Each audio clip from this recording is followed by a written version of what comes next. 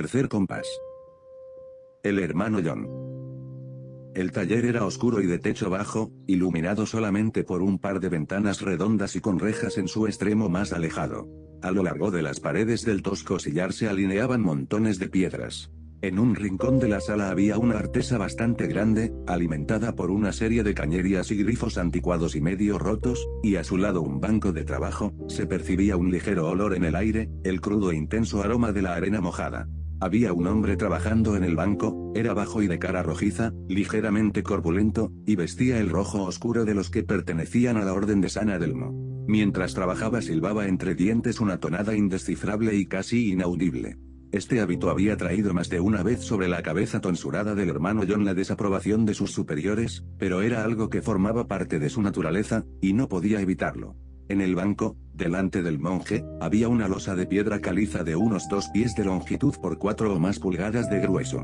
A su lado había unas cajas de arena plateada, el hermano John estaba enfrascado en pulir la superficie de la piedra, vertiendo la arena a través de los orificios de un pulverizador circular de hierro que hacía girar con bastante destreza, removiendo la emulsión de agua y abrasivo sobre la losa de piedra. El trabajo exigía un considerable esfuerzo y atención, cuando terminara, la piedra no debía mostrar ningún rastro de curvatura o inclinación hacia ningún lado. De vez en cuando comprobaba la ausencia de concavidades colocando una barra de acero completamente recta sobre su superficie. Al cabo de algunas horas, la losa de piedra estaba casi lista, pero le faltaba el punto más importante. La superficie pulida tenía que estar completamente libre de defectos, el maestro Albrecht detectaría sin la menor duda cualquier imperfección, y el hermano John conocía perfectamente el resultado de eso.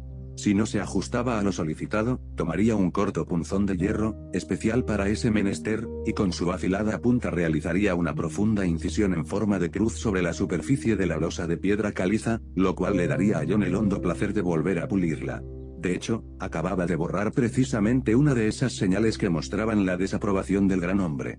Lavó cuidadosamente la piedra, empleando una manguera conectada a uno de los grifos.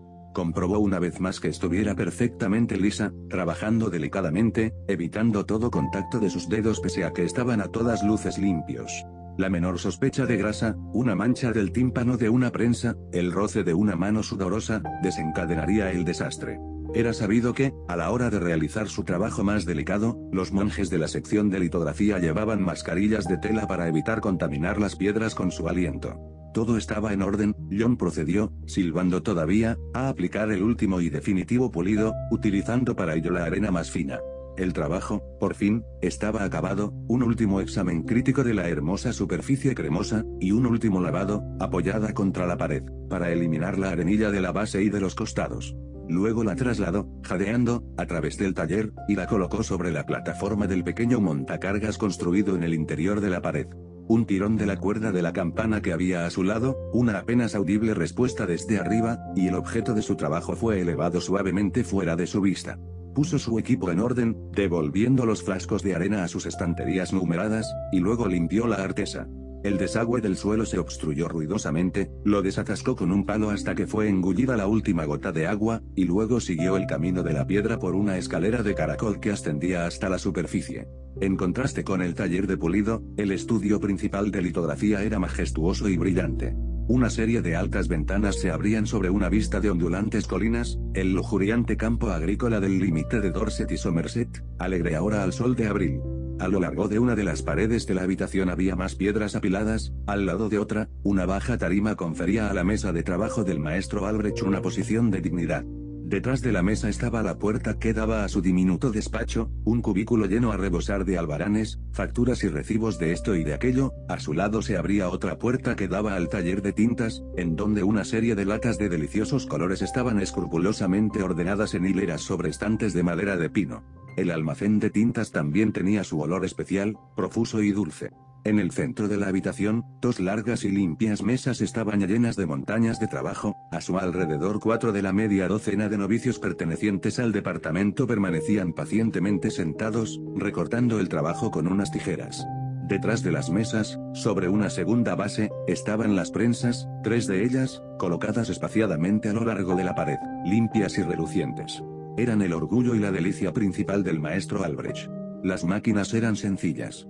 Cada asiento era elevado hasta la altura de impresión por una alta palanca, y era movido por una pesada rueda de radios de madera, encima del asiento, un marco de hierro sujetaba una cuña cubierta de piel, ajustable a presión.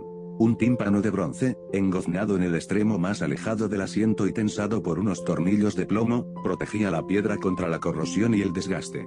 Los tímpanos habían sido en una ocasión, en el pasado, la causa de un contratiempo del que el hermano John había sido figura prominente. Desde tiempos inmemoriales habían sido engrasados con un producto etiquetado como grasa de oso, acerca de cuya composición John había expresado sus más serias dudas. En épocas de calor apestaba de forma abominable, y John, para cuyo sensible olfato los malos olores representaban una ofensa, se propuso agenciarse un bote de la recién inventada grasa mineral del garaje del pueblo, y untó las prensas con ella. La furia del maestro Albrecht no tuvo límites, durante varias semanas después de que John hubiera efectuado el cambio, le impuso una serie de penitencias de naturaleza especialmente desagradable, una de las cuales había sido sacar la grasa mineral y reponer la tradicional grasa de oso. El pequeño hermano se había resignado con tanta aceptación y paciencia como era posible bajo aquellas circunstancias, aunque prometió, solemnemente y de forma privada, que si las abrumadoras alturas algún día llegaba a alzarse hasta de maestro en litografía, la nociva mezcla sería totalmente desterrada de sus dominios. Al lado de las prensas había más artesas, y también la boca superior del montacargas que comunicaba con el taller de pulido, a su lado, la piedra, aprobada por el maestro Albrecht, había sido apoyada sobre un lado, y estaba siendo secada por un muchacho con un molinete de cartón montado sobre una varilla. En la pared había unos estantes dispuestos con unos rodillos de piel para el entintado, finos y suaves, debajo de ellos, unas losas de piedra caliza servían como paletas. En una de ellas trabajaba el hermano Joseph, un novicio con bastante cabello, con el cráneo aún sin tonsurar. Cuando entró, el hermano John aún seguía silbando, el sonido cesó bruscamente, borrado del firmamento por la fiera mirada del maestro Albrecht. Se abrió paso por la habitación, se detuvo a esperar impaciente mientras el hermano Joseph acababa de extender la tinta y la distribuía sobre un rodillo. Había una piedra preparada sobre la platina de la prensa más cercana, y a su lado un montón de pruebas a dos colores. John pasó suavemente una esponja sobre la losa, humedecida con el agua de un cubo que había al lado de la prensa, y se apartó cuando su ayudante se acercó con el rodillo. La imagen fue fijada, primero de forma delicada y luego más firmemente, John invirtió una de las pruebas, pasando a través del papel las dos agujas montadas al extremo de sendos pinceles y que se utilizaban para señalar en las pruebas las marcas del contrarregistro. Luego, otra vez con el tímpano, bajarlo cuidadosamente para la impresión, un pequeño ajuste en la cuña, y adelante con el trabajo. John aflojó el asiento, lo retiró, alzó el tímpano y luego, con más cuidado, la hoja de papel, observando el dibujo recién impreso a contraluz. Los colores brillaban alegremente, la imagen de una lozana campesina sosteniendo un manojo de cebada, y la inscripción, la cerveza de los segadores, elaborada bajo licencia en el monasterio de San Adelmo, Serborn, Dorset. La señal de la campana de la tarde puso fin al trabajo, los monjes, liberados temporalmente de su voto de silencio, salieron en orden, charlando, en dirección al comedor. John y el hermano Joseph llevaron sus almuerzos hacia una mesa de la esquina, y se sentaron algo apartados de los demás para planificar las operaciones de la tarde, después se verían privados del beneficio de la palabra hablada y de la escritura, que, aparte de ser tediosa, era más o menos desaprobada como modo alternativo de comunicación. A las dos, cuando se levantaban de la mesa para acudir de vuelta a la sala de litografía, se les acercó un novicio con un papel escrito en la mano. Entregó el mensaje al hermano John, el pequeño monje lo leyó, se rascó la coronilla, y se lo mostró fugazmente al hermano Joseph mientras agitaba los ojos en una exhibición de burlón pesar. Había sido convocado ante la augusta presencia de su abad. Se apresuró a buscar en su mente una lista de pecados de comisión u omisión por lo que se le pudieran pedir cuentas.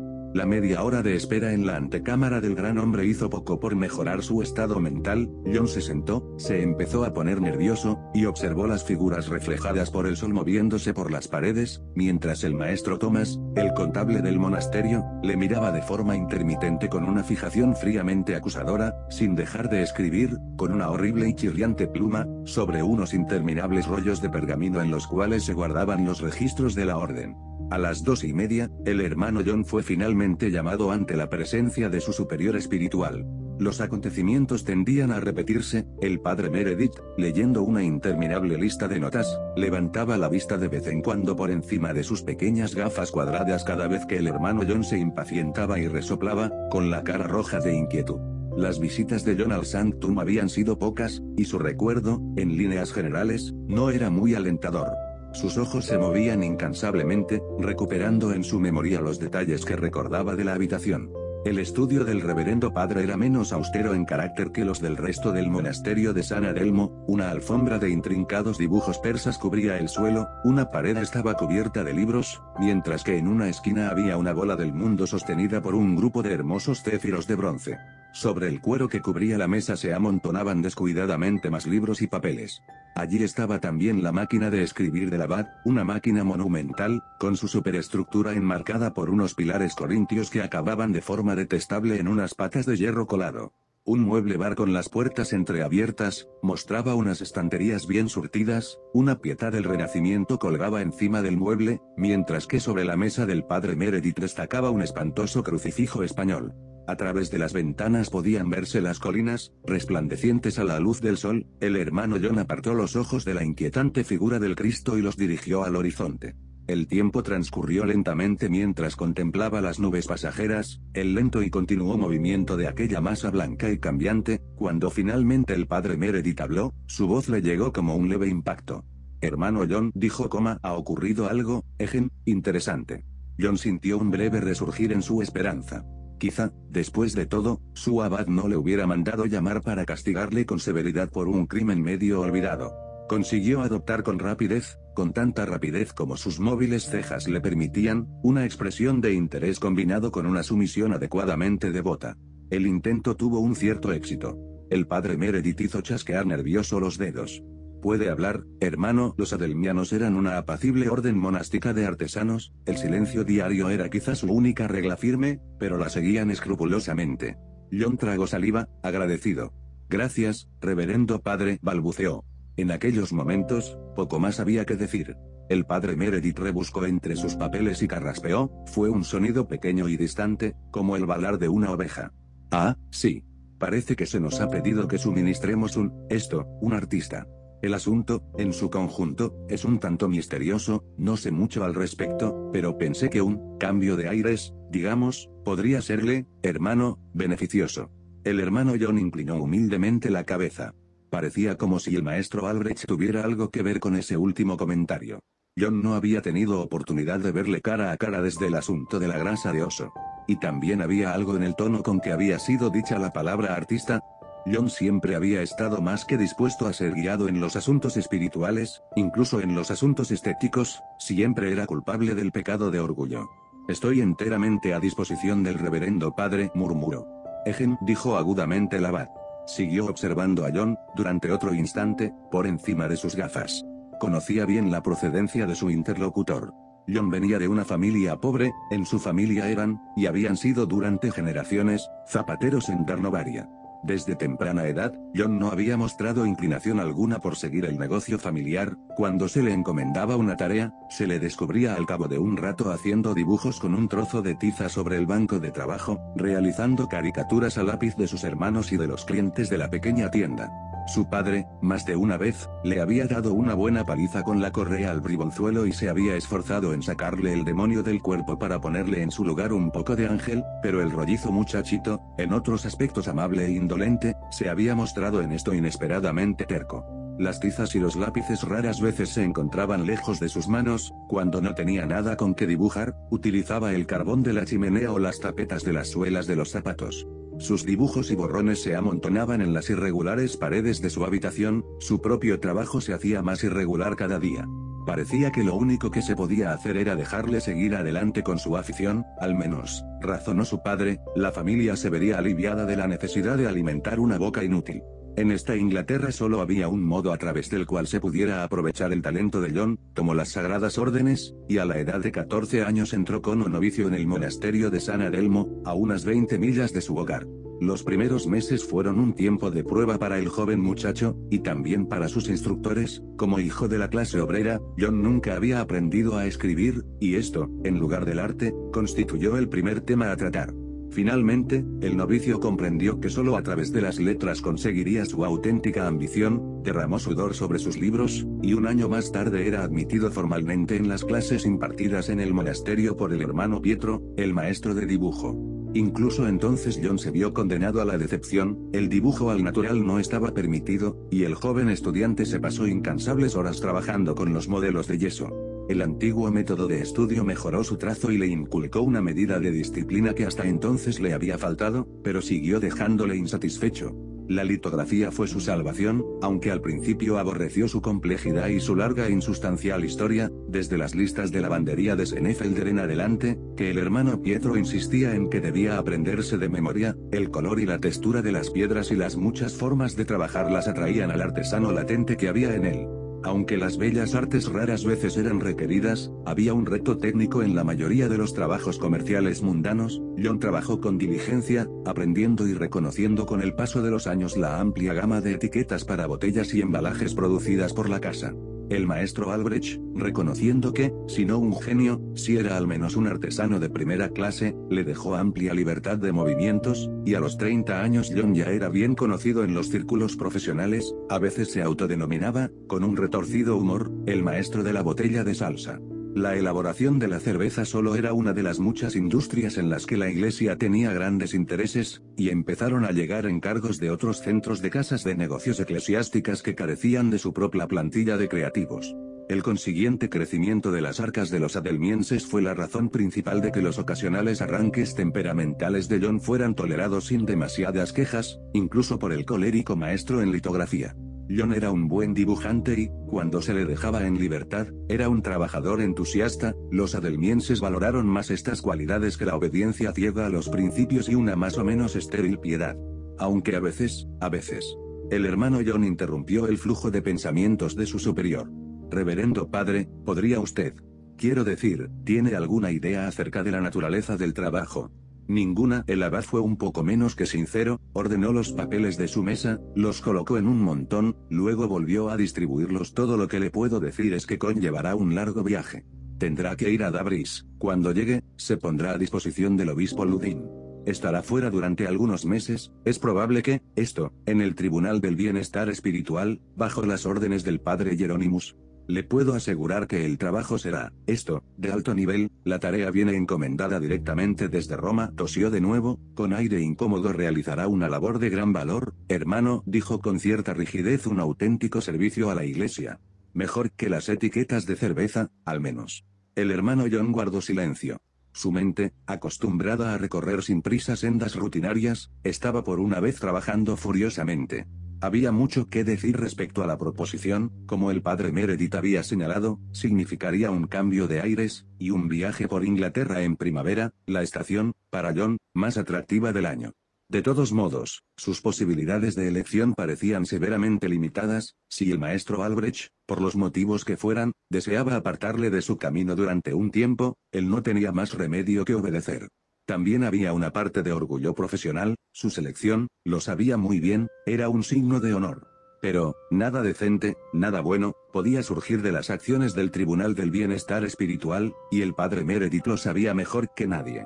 Porque hubo un tiempo en que el tribunal tenía otro nombre, un nombre que incluso en el territorio occidental de la Iglesia tenía una triste reputación. La Inquisición. John entró en el gran castillo de Dabris a través de la puerta vieja, mezclado con una ruidosa multitud de visitantes, mendigos, soldados, vecinos que habían salido a pasar el día fuera con cestas de picnic y cerveza, los hombres fanfarroneando con su traje de los domingos y las mujeres con los niños en brazos y berreando sobre sus blusas.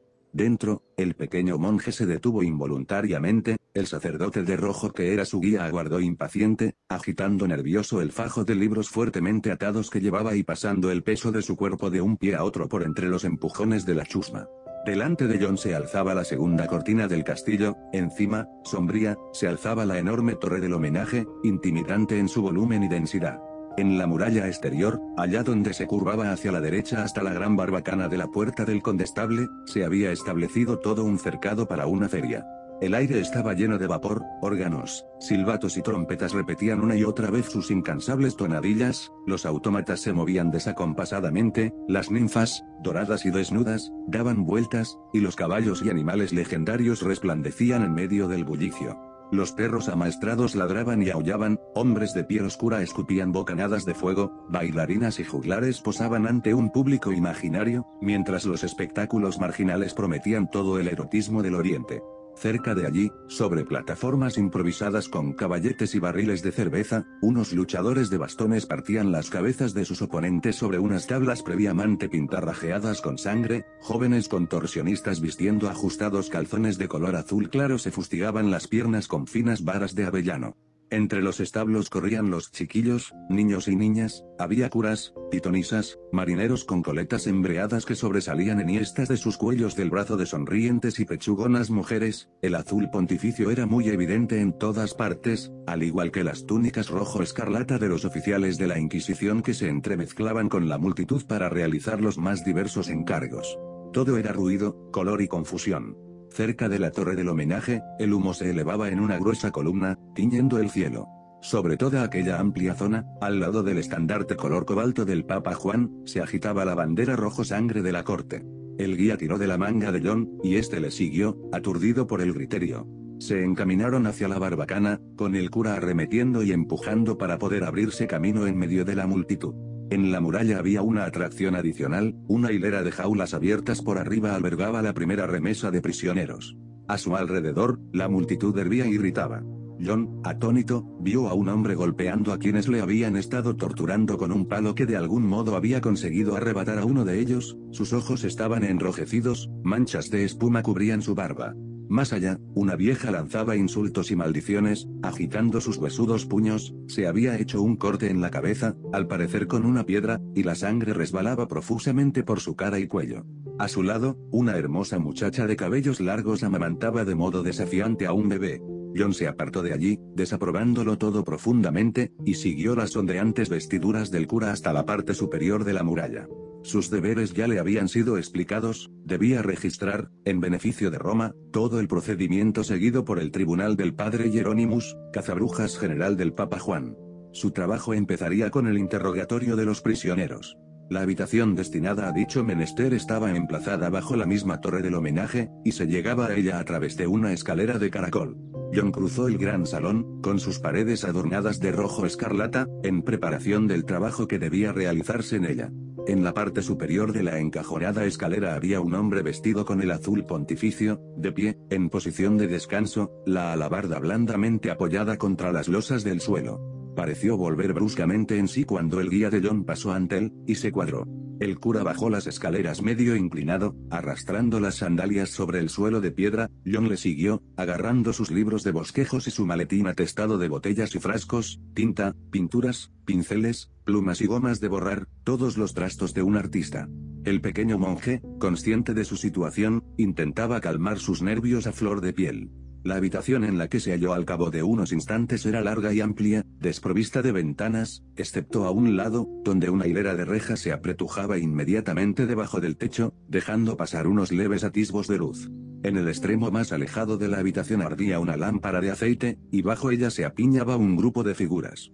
John vio a unos hombres fornidos vestidos con ropas oscuras con la insignia del tribunal, la mano empuñando el martillo y el rayo, blasonada al pecho, un capellán murmuraba algo sobre unas bandejas de instrumentos cuya finalidad no llegó a reconocer. Había rodillos claveteados, hierros extrañamente moldeados, torniquetes con molduras metálicas, finalmente identificó otros instrumentos alineados uno al lado del otro, y sintió un frío impacto. Los pequeños armazones con sus diminutas manijas dobladas y sus mordazas dentadas eran gresillones. En pulgueras. Aparatos que le apretaban a uno los pulgares hasta reventárselos. Esos aparatos existían de verdad. A su lado, una especie de tosca mesa, montada con unos rodillos accionados a manivela a cada extremo, evidenciaba más claramente su uso.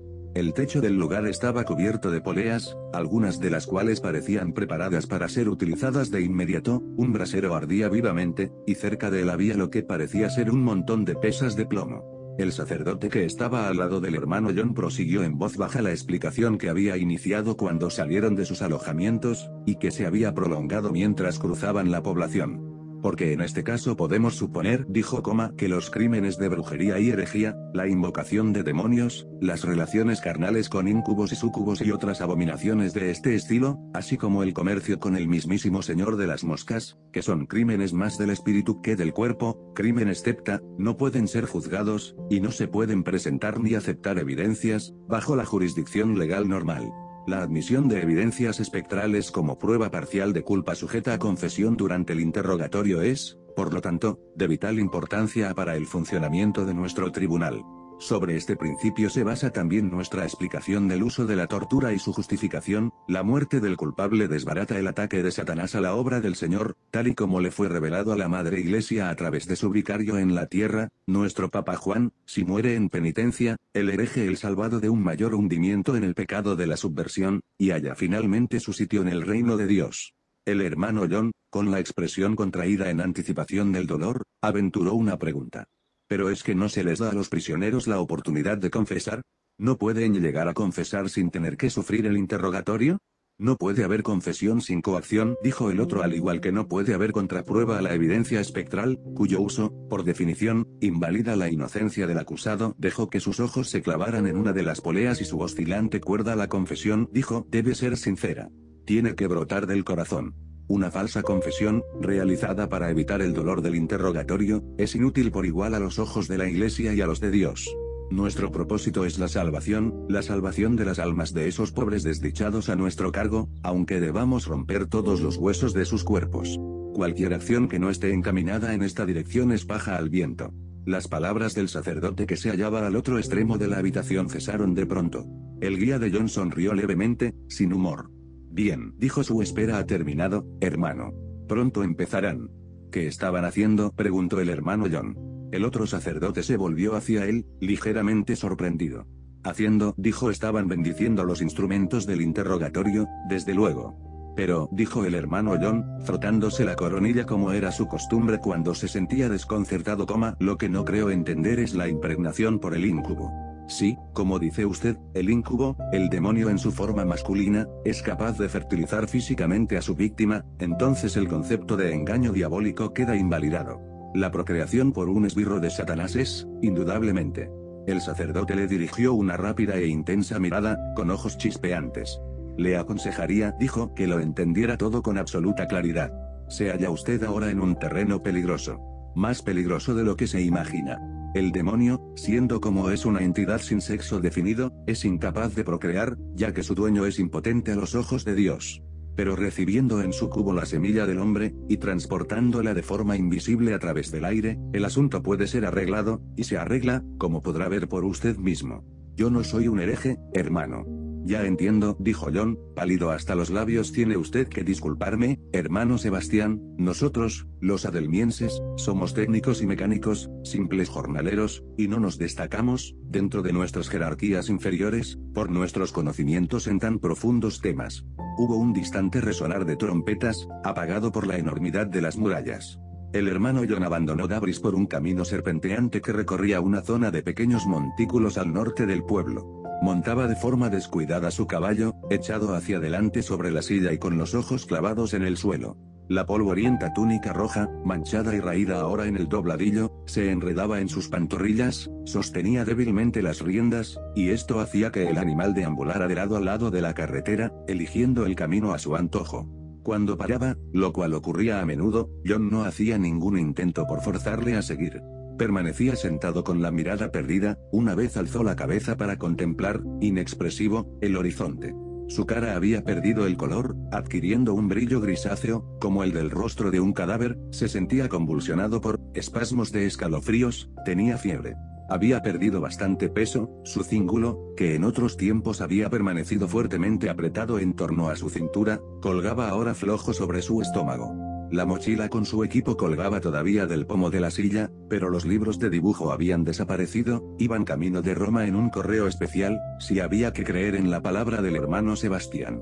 Antes de su marcha, el inquisidor había felicitado a John por su aplicación y la exactitud de su trabajo, y había intentado animarle indicando que el tremendo desaliento que le había invadido durante el examen de los testigos había sido sin duda provocado por la frustración que había sufrido el demonio de Kent ante las sesiones del tribunal, pero al no observar ninguna respuesta en el otro, lo había dejado, no sin antes lanzarle una o dos miradas escrutadoras, dirigidas a su espíritu antes que a su cuerpo, en busca de una respuesta. Había llegado al convencimiento, durante las semanas que estuvieron trabajando juntos, que en algún punto del corazón del hermano John ardía la herejía. Hubo veces en las que casi se sintió tentado de llevar el asunto a la atención del padre Hieronymus, pero quién sabía las repercusiones que esta acción podía llegar a traer.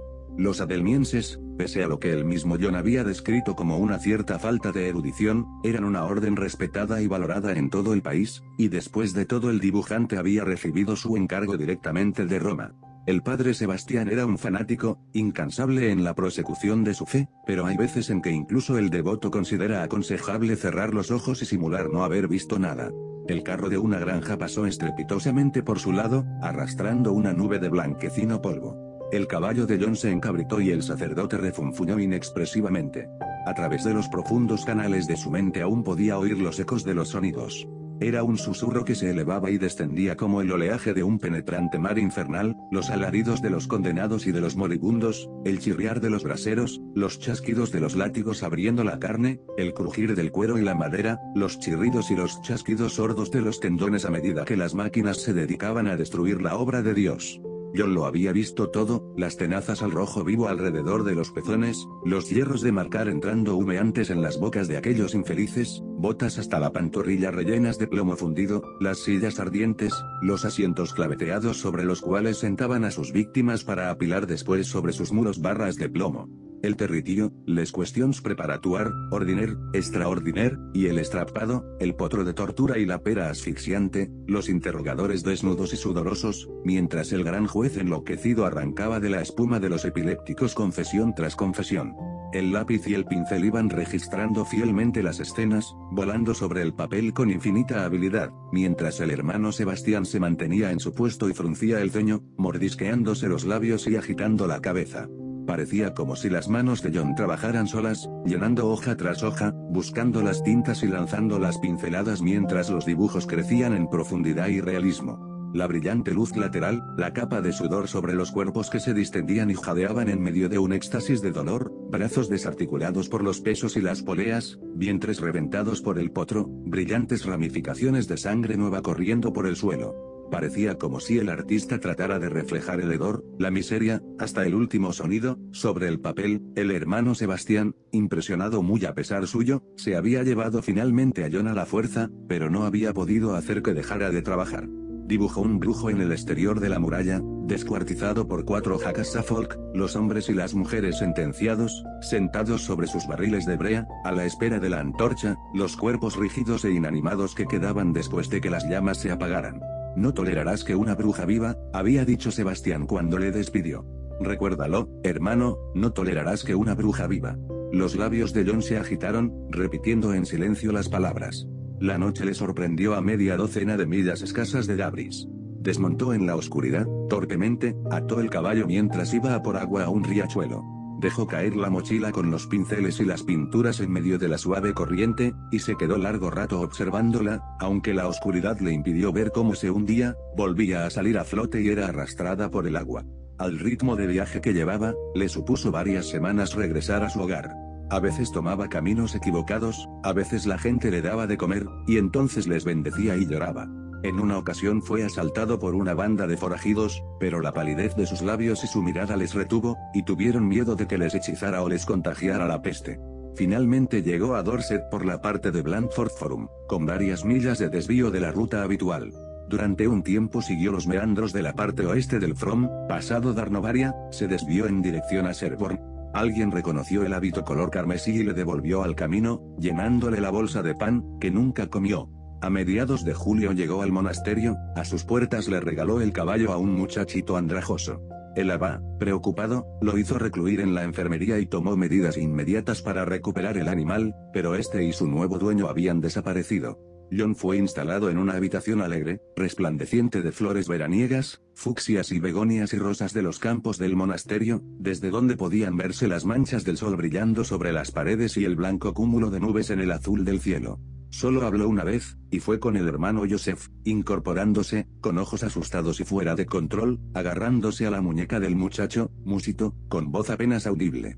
Lo disfruté, hermano. Que Dios y los santos me ayuden, disfruté de mi trabajo. Joseph intentó calmarle, pero no consiguió nada. Pasó un mes antes de que pudiera levantarse y vestirse por sí mismo.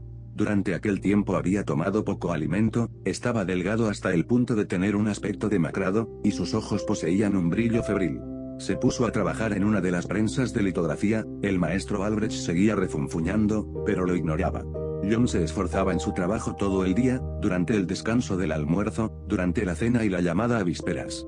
La noche y la luna le vieron trabajar, pintando la piedra que sus ojos no podían ver enjuagándola, bajando el tímpano, moviendo los radios de la rueda, bajando la platina, tintando, bajando el tímpano. El hermano Joseph se quedó con él en una ocasión, observando acurrucado en las sombras, pero al cabo de un rato él también se marchó, sorprendido por algo que no podía llegar a entender. Fue de madrugada cuando John empezó a vacilar en su penitencia. Se quedó ligeramente inclinado, una sombra oscura recortada por el resplandor de la luna, escuchando, contrayendo su expresión como si tratara de atrapar los ecos de algún ruido más allá del alcance del oído humano.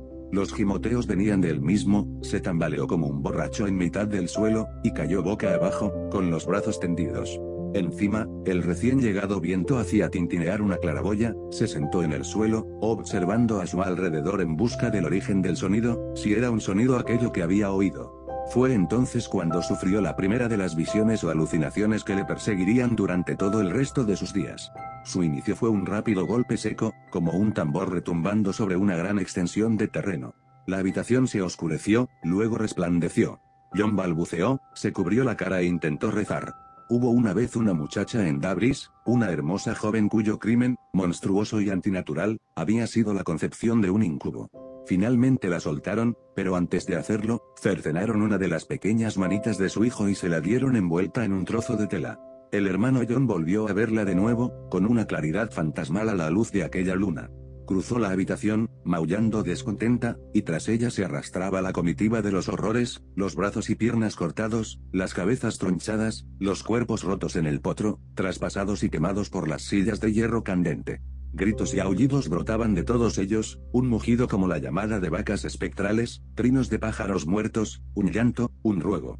El rostro de John se tiñó de un extraño color, a su alrededor brillaban intensas luces, las ruedas de las prensas parecían girar como soles de oscuros rayos. Se vio asaltado por truenos y extraños ruidos, sus ojos giraron hacia arriba, dejando al descubierto su blanco a las luces de la habitación. Golpeó rabiosamente el suelo con los puños, y lloró desconsolado. Finalmente se quedó tendido, inmóvil, en medio de la habitación. A la mañana siguiente los hermanos, al no encontrarle en su celda, lo buscaron en los talleres, luego por todo el monasterio, más tarde por los sótanos. Pero todo fue inútil, el hermano John se había ido. Su eminencia el cardenal arzobispo de Londinium suspiró profundamente, se frotó la barbilla, bostezó, se paseó arriba y abajo por su despacho, de la mesa al ventanal que daba a la parte exterior del palacio episcopal. Se detuvo al lado de la ventana durante un rato, con las manos a la espalda y el mentón hundido en el pecho. Los jardines estaban radiantes de color, con lilas y gladiolos y las recién llegadas rosas Macready.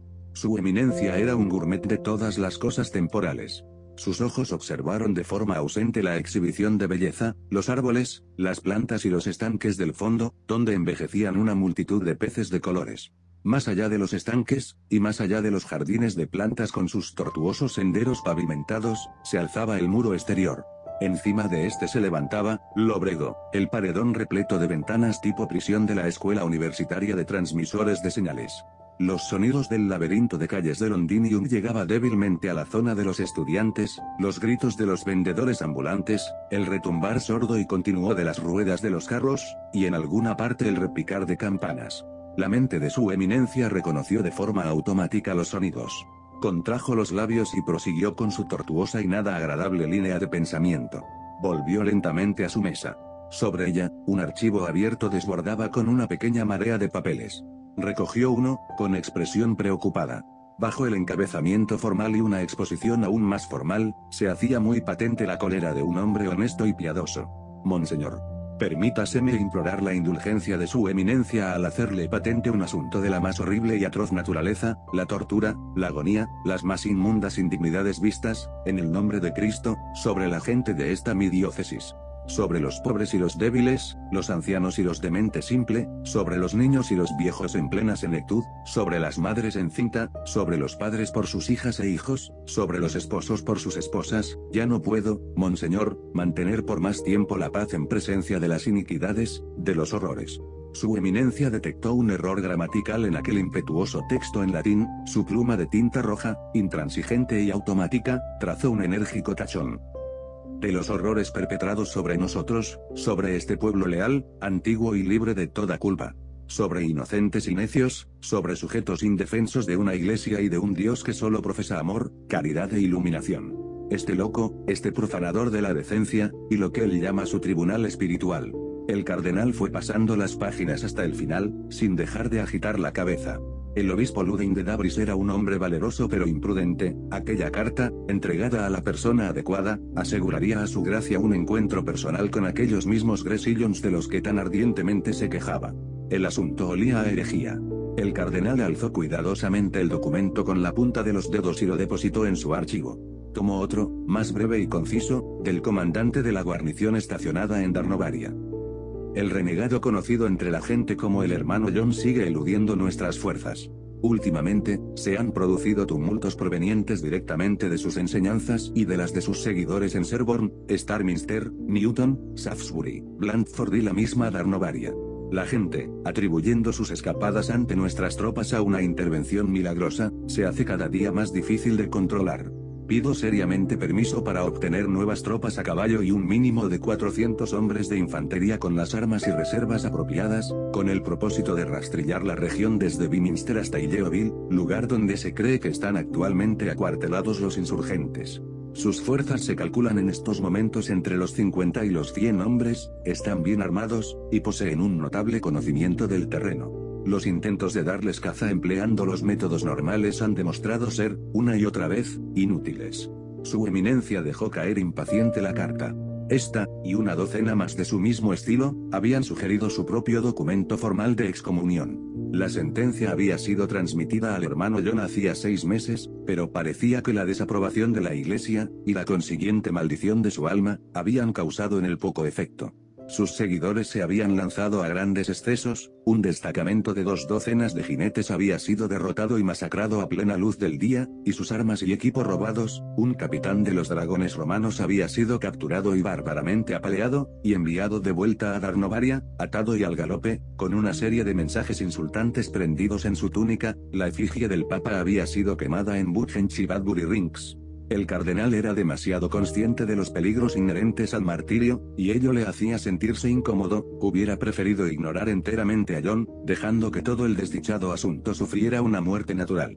Pero se veía obligado a tomar medidas repasó el breve informe de la vida y cualidades del rebelde, llevado hasta Londinium, a petición suya, por un emiencia inusualmente manso adelmiense cuyas orejas hubiera deseado enormemente poder devolver al padre Meredith en una bandeja, por permitir en primer lugar que su confundida gente llegara a tales extremos. Los adelmienses, aunque no por su culpa, se estaban convirtiendo rápidamente en el leitmotiv de un nuevo e inquietante movimiento popular. El resurgimiento de la fuerza del anglicanismo se alimentaba de reliquias de antigua adoración. No había sido el propio San Adelmo quien convirtió amplias zonas del país a la fe, siglos antes incluso de que el clero, reunido tras los talones de los conquistadores normandos, restableciera en Bretaña los preceptos de Roma. La comunión anglicana había sido un hecho histórico, pese a que la Iglesia intentaba incansablemente negarlo, y la causa aún podía hallar defensores. Habían transcurrido muchos años entre la abolición papal por parte de Enrique y la excomunión de Isabel, años en los cuales la Iglesia de Inglaterra había coexistido presumiblemente en estado de gracia. Posiblemente existieran untuosas excusas, pero había también ideas peligrosas que circulaban libremente entre la población, carente en general de una correcta instrucción sobre los principales puntos teológicos. La antigua consigna de la Iglesia, someterse y adorar, ya no era suficiente, se tentaba a la gente una vez más a que estableciera su propia jerarquía espiritual, y yo no cualquier otra figura similar estaba hecho a la medida para encabezar dicho movimiento. El renegado había asistido a las últimas sesiones del Tribunal del Bienestar Espiritual, y aquello, pensó su eminencia mientras releía unos hechos que ya se había aprendido de memoria, era claramente el inicio de todo ese asunto tan ridículo. ¿Cómo explicarlo? ¿Hasta qué punto podía mantenerse calmada la ira de un hombre como Lodein, con datos y hechos, a través de argumentos políticos? Su eminencia se encogió cansadamente de hombros. En toda la historia del mundo no había existido una fuerza como la fuerza de la Segunda Roma. Sostener la mitad de un planeta en la palma de una mano, hacer juegos malabares, equilibrar unas frente a otras unas fuerzas que la mente de un hombre casi no podía llegar a comprender. El furor de las naciones era como la rabia del mar, que no podía contenerse con cañas y barro. El anglicanismo ya había dividido una vez al país, su historia estaba toda contenida allí, en los grandes libros que se alineaban en las paredes del estudio. Luego Inglaterra había ardido desde el pie de Cornualles hasta la columna vertebral de los Peninos con el resplandor de los autos de fe. Había habido algún dolor, un poco de derramamiento de sangre, pero pronto habían desaparecido y habían sido olvidados, eso, y la enorme sabiduría de la Iglesia. Demasiado a menudo, pensó el cardenal, el temor a la amenaza del fuego del infierno en vez del señuelo del reino del amor. El padre Hieronymus, loco como indudablemente estaba, había sido útil en el pasado, pero en esta ocasión su sangriento circo había desencadenado un clamor que podía envolver fácilmente toda Inglaterra. Una serie de pensamientos tan sorprendentes como poco caritativos daban vueltas en la mente del arzobispo de Londinium. Se levantó de nuevo para seguir meditando de pie, observando los jardines, lo cual era su mayor placer. Le parecía ver las rosas destrozadas por pies irreverentes, las lilas pisoteadas en medio de una tierra ensangrentada, su casa destruida e incendiada, sus bodegas de vinos profanadas, sus despensas y cocinas, sus estudios y bibliotecas en llamas. La única solución era destruir al padre Jerónimo y destruir a los adelmienses, y por encima de todo destruir al hermano John. Su eminencia, debido a la naturaleza de su posición, era tanto un economista y un político como un hombre de iglesia, en sus ratos de humor más cínico creía ver todo el amplio espectro de la iglesia extendido como una reluciente manta, como una colcha de hilo de oro, sobre el cuerpo de un gigante. En ocasiones como aquella, el gigante se removía y resoplaba en un sueño intranquilo, pero pronto despertaría. Apartó resueltamente la idea, volvió a su escritorio, extrajo de un cajón el documento formal en el que había estado trabajando la mayor parte de la mañana anterior, dictándoselo a su amanuense. Por cuanto el hereje conocido como hermano John, es miembro de la Orden de San Adelmo, cuyo cuerpo hemos excomulgado y cuya alma hemos arrojado a las profundidades del fuego eterno, continúa mofándose de la voluntad de Dios y de su verdadera iglesia en esta tierra, es nuestro deber comunicar esta solemne advertencia. Cualquier persona que dé asilo al hereje o a cualquier miembro de su banda, cualquier persona que le suministre comida, bebida, armas, municiones y pólvora o cualquier otra vitualla. Cualquier persona en posesión de cartas, proclamas u otro asunto originado por el hermano John o algún miembro de su banda, o que ayude a distribuir ese tipo de propaganda subversiva para la posterior causa de Satanás contra la gloria de Dios. Cualquier persona que oculte información acerca del paradero del mencionado hereje o cualquier miembro de su banda, cualquier persona que asista a alguna reunión, orgía o cualquier exhibición representada por ellos, y que no declare acerca de ella, con todos los datos que posea al respecto, a un sacerdote, a un comandante de guarnición o a un oficial de la ley en el plazo de un día después del delito será excomulgada y vista como un ser horrible y abominable ante los ojos de Dios, y por esta sola prueba declarada culpable ante cualquier tribunal de justicia de la paz o eclesiástico, y ahorcada y descuartizada, y sus pedazos salados y embreados, y exhibidos de la manera que se juzgue más adecuada para el aviso y educación de otros herejes o traidores a Dios y a la causa de su iglesia. Otro sí es nuestro deber proclamar las siguientes recompensas por la información que conduzca a la captura, vivo o muerto del hermano John o de cualquier otro miembro de su banda, 25 libras de oro. Por la captura, vivo o muerto, de cualquier miembro de la banda del hermano John, 50 libras de oro. Por la captura, vivo o muerto, del propio hermano John, 200 libras de oro, que serán pagadas en nuestro palacio episcopal de Lambert tras la recepción del cuerpo del hereje, o a través de una prueba buena y suficiente de la destrucción del cuerpo del hereje.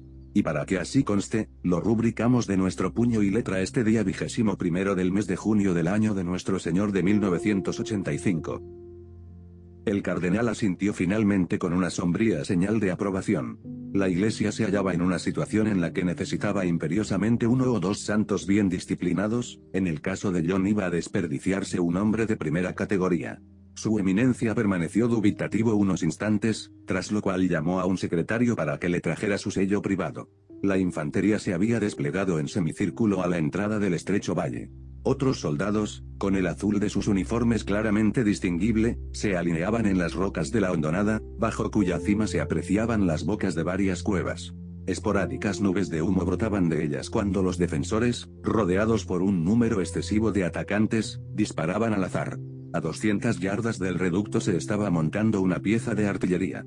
La pieza había sido protegida con una media luna de rocas apresuradamente erigida, detrás del parapeto, un grupo de sudorosos hombres colocaba cuñas bajo las ruedas de la cureña. Una serie de vigas encajadas bajo los aros levantaban el arma varios grados, pero el blanco estaba demasiado alto, el capitán temía que, a la primera descarga, el retroceso destrozara el arma contra el suelo. Cerca del cañón, un enardecido mayor, con la espada desenvainada y montado en un inquieto caballo, se desgañitaba en gritos e improperios contra sus hombres para que se esforzaran más. Los ataques frontales habían resultado costosos, en la parte superior del valle unas manchas de tela azul señalaban los lugares donde los herejes se habían cobrado su cuota de víctimas entre la infantería. El mayor, que no era un hombre propenso a arriesgar inútilmente sus tropas, agitó el sable hacia el reducto y lanzó a sus ocupantes una andanada de insultos. Una nube de humo le respondió, la bala de cañón destrozó en mil pedazos una roca a unos 20 pies a su izquierda y siguió silbando pendiente abajo. Una descarga lanzada sin objetivo aparente por las tropas que se cobijaban en la hondonada hizo retroceder a los defensores, el mayor creyó oír, mezclado con los ecos de los disparos, el rumor de un grito. El primer disparo del gran cañón lanzó por los aires mil pedazos de roca de un saliente a una yarda escasa por debajo de las bocas de las cuevas, el segundo desencadenó una pequeña avalancha por encima y a la derecha. El tercero desmontó la pieza de su rudimentaria plataforma, aplastando las piernas de uno de sus servidores. El capitán maldijo los huesos de aquellos hombres, deseando tener un mortero, pero no había ninguno a su alcance. El cañón fue montado de nuevo y elevado de forma más segura, los papistas ocuparon sus posiciones para cañonear la posición rebelde hasta reducirla. La diminuta figura enfundada en su túnica color rojo oscuro estaba ya a unas 20 yardas de las grietas, corriendo por encima de las rocas de un camino de cabras, antes de que la pieza fuera colocada de nuevo en posición. Unas nubecillas de polvo se alzaron en torno al fugitivo, el mayor, gritando, cabalgó a lo largo de la línea de tiro de sus hombres, aguijoneándoles, indicándoles que apuntaran certeramente. El renegado fue derribado a unas 20 yardas de la cima del precipicio y bajó rodando una gran distancia antes de ser detenido por el propio terreno accidentado, pero aún le quedó suficiente vida para apuntar una pistola y reventarle la rodilla a un hombre a la derecha del mayor cuando la infantería lanzó su carga final. El mayor gruñó y se agachó para retirar la capucha de la del miense. Bajo su densa mata de pelo, el muchacho le dirigió una sonrisa repleta de dolor, con los dientes llenos de sangre. Al lado del mayor, su ayudante dijo, lleno de asco. Discipulus. Más bien escoria, murmuró el otro. Agarró al muchacho por los cabellos y lo zarandeó bien, muchachito malo, dijo coma, ¿dónde está el jodido del culo de tu amo? No hubo respuesta. Lo zarandeó de nuevo. El hermano Joseph se incorporó a medias, escupiendo algo rojizo al rostro del hombre que estaba sobre él. El ayudante del mayor agitó negativamente la cabeza. No hablarán, señor. Ninguno de esos búlgaros. Eso ya lo sabía, dijo secamente el mayor que vengan los camilleros, sargento. El soldado bajó corriendo la colina. La respiración del muchacho era agitada. Se alzó de nuevo, y antes de desmayarse cerró algo en su puño manchado de sangre. El mayor se arrodilló, evitando con cuidado la sangre que manaba a chorros de aquel cuerpo, y le abrió la mano casi a la fuerza. Se levantó, mientras daba vueltas entre sus dedos al pequeño medallón con la figura del cangrejo. Esto, dijo suavemente, es todo lo que necesitamos. Metió la marca de los duendes en el bolsillo de su uniforme antes de que su ayudante pudiera verla. La cueva, una vez inspeccionada, ofreció gran cantidad de trofeos. Seis cuerpos, tres de ellos intactos, suficiente para satisfacer al más recelosos de los empleados papales. La recompensa había subido ahora a 150 libras por rebelde, esto hacía un total de 900 libras, y en conjunto más de mil. Un hermoso botín para el batallón. Además, había suministros de comida y armas, libros y documentos herejes, y montones de panfletos a la espera de ser distribuidos. El mayor ordenó que estos últimos fueran quemados. Al fondo de la cueva, bastante destrozada por los cañonazos, estaban los restos de una prensa albión y cajas dispersas de letras y caracteres de impresión. El mayor mandó a buscar un martillo, al tiempo que removía el montón de panfletos con la punta de su bota. Bien, al menos en el futuro no habrá tanta basura de esta por el mundo, señaló filosóficamente a su ayudante. Pero la maniobra había fallado en su objetivo más importante. Una vez más, el hermano John había escapado. Con el transcurso de las semanas, los rumores fueron creciendo. John estaba aquí, estaba allí, las tropas se desplazaban apresuradamente en mitad de la noche, los pueblos eran registrados, y las recompensas eran reclamadas un millón de veces, pero nunca llegaban a pagarse apareció una historia que decía que John, en unión a la gente de los páramos, podía trasladarse con gran rapidez, mediante métodos mágicos, lejos del peligro. Transvestismo, gruñó Roma, y dobló el importe de la recompensa.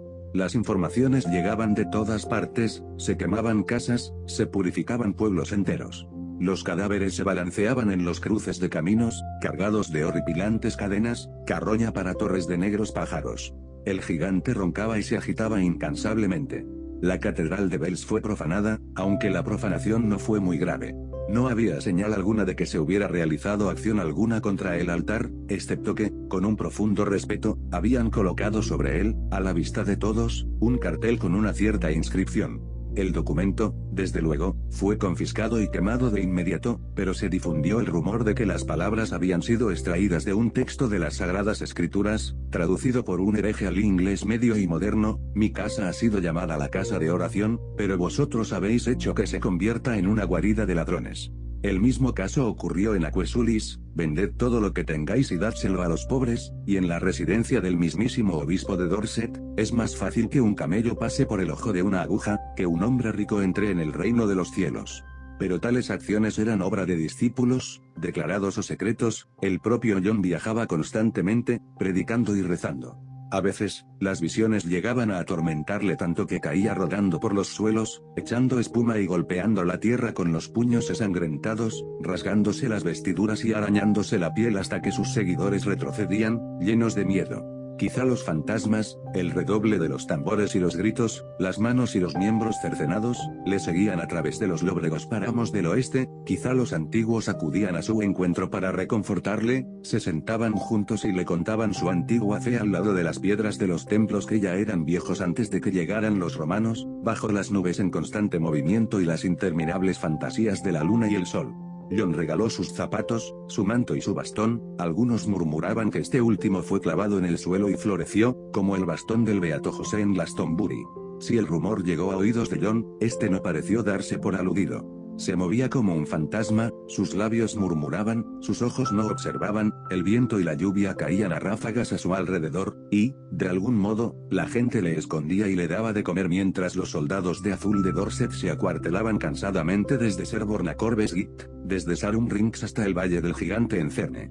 El precio por la cabeza de John subía progresivamente, de 500 libras a 1000, de 1000 a 1500, y de eso a unas increíbles 2000 libras, pagaderas de las arcas del Palacio Episcopal de Londinium. Pero no había el menor rastro del hombre. Los rumores volvieron a volar. Algunos decían que planeaba un levantamiento contra Roma, que se estaba ocultando hasta que hubiera reclutado un ejército lo bastante grande, otros decían que estaba enfermo, o herido, o que había abandonado el país, y, finalmente, el rumor acabó diciendo que había muerto. Sus seguidores, que en aquellos momentos se contaban ya por miles, esperaban y se lamentaban. Pero John no había muerto, simplemente había vuelto a las colinas, acompañando a los leprosos, siguiendo su rastro a través de sus solitarias y tristes campanillas. Las casas del pueblo se apiñaban sobre una expuesta zona de los páramos. Las cabañas estaban construidas con piedra gris, tenían las contraventanas cerradas, y su aspecto era absolutamente desolado.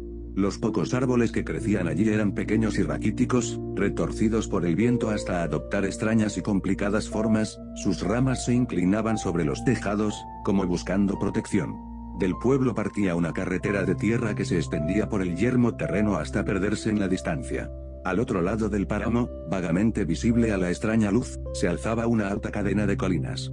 Desde ellas, en un día claro, un oteador hubiera podido divisar la cercanía del mar, ahora, el mortecino y polvoriento cielo se veía vacío y plano. En medio de aquella visión soplaba un viento de marzo, húmedo y enormemente violento. El viento jugueteaba con el manto de la muchacha que permanecía sentada pacientemente al lado de la carretera, a unos 100 metros de distancia de la última cabaña. Con una mano sujetaba apretado contra su garganta un áspero trozo de tela, su cabello, que asomaba por debajo de su capucha, se agitaba largo y oscuro, cubriendo ocasionalmente su rostro. Observaba con atención, escudriñando la extensión marrón grisácea del páramo hasta las distantes siluetas de las colinas. Esperó pacientemente una hora, quizá dos, el viento agitaba los arbustos, y durante un breve instante una ráfaga de lluvia cruzó la carretera. Las colinas empezaban a palidecer con la creciente oscuridad cuando la muchacha se levantó y fijó su vista, con la mano a modo de visera, en un punto lejano, forzando los ojos para distinguir con mayor claridad aquel borroso objeto de color gris que había aparecido al límite de su visión. Permaneció inmóvil varios minutos, apenas pareció respirar mientras la lejana mancha iba avanzando poco a poco, se convertía en una oscura cabeza de alfiler, y finalmente se definía como la figura de un jinete. Entonces la muchacha emitió un lamento, un extraño sonido, como un medio gemido surgido de lo más profundo de su garganta, y se dejó caer de rodillas, mirando horrorizada hacia las casas que se alineaban a lo largo de la carretera. El jinete siguió avanzando, pero a los asustados ojos de la muchacha parecía como si se moviera siempre en un mismo lugar, agitándose como una marioneta bajo la inmensidad del cielo. Sus dedos escarbaron la tierra que tenía delante, se alisó la falda sobre los muslos, y se apretó el costado para calmar los latidos de su corazón. El hombre montaba relajadamente, dejando que el animal fuera a su paso. Sus pies colgaban sueltos a ambos lados de la barriga del asno, meciéndose rítmicamente, rozando los tallos más altos de la hierba. Iba descalzo, con los pies cruzados con las rayas oscuras de la sangre de antiguos cortes, el manto que llevaba estaba roto y manchado debido al constante uso, su marrón original se había convertido en un gris rojizo. Su rostro era delgado, con señales y hendiduras en la carne que indicaban un aspecto anterior más lleno, y los ojos que asomaban por encima de su enmarañada barba eran brillantes y enloquecidos como los de un pájaro. De tanto en tanto murmuraba algunas palabras, iniciando bruscamente estrofas de alguna canción, echando la cabeza hacia atrás y riéndose del sombrío cielo, agitando una mano en vagos gestos de bendición hacia la gran desolación que le rodeaba. El asno llegó finalmente a la carretera y se detuvo, como inseguro, del camino que debía tomar. El jinete aguardó, canturreando y murmurando, y sus brillantes e incansables ojos se dieron cuenta lentamente de la presencia de la muchacha. Ella seguía aún arrodillada en la carretera, con la cara inclinada hacia el suelo, alzó la cabeza para mirar al desconocido que la saludaba, con la mano todavía medio alzada. Entonces corrió hacia él, se echó a sus pies y agarró el roto dobladillo de su túnica. Empezó a llorar, las lágrimas brotaron sin control de sus ojos, formando regueros a lo largo de su sucia cara. El jinete se la quedó mirando, vagamente sorprendido, luego se inclinó e intentó levantarla. Ella se estremeció ante el contacto y se le agarró más fuerte todavía.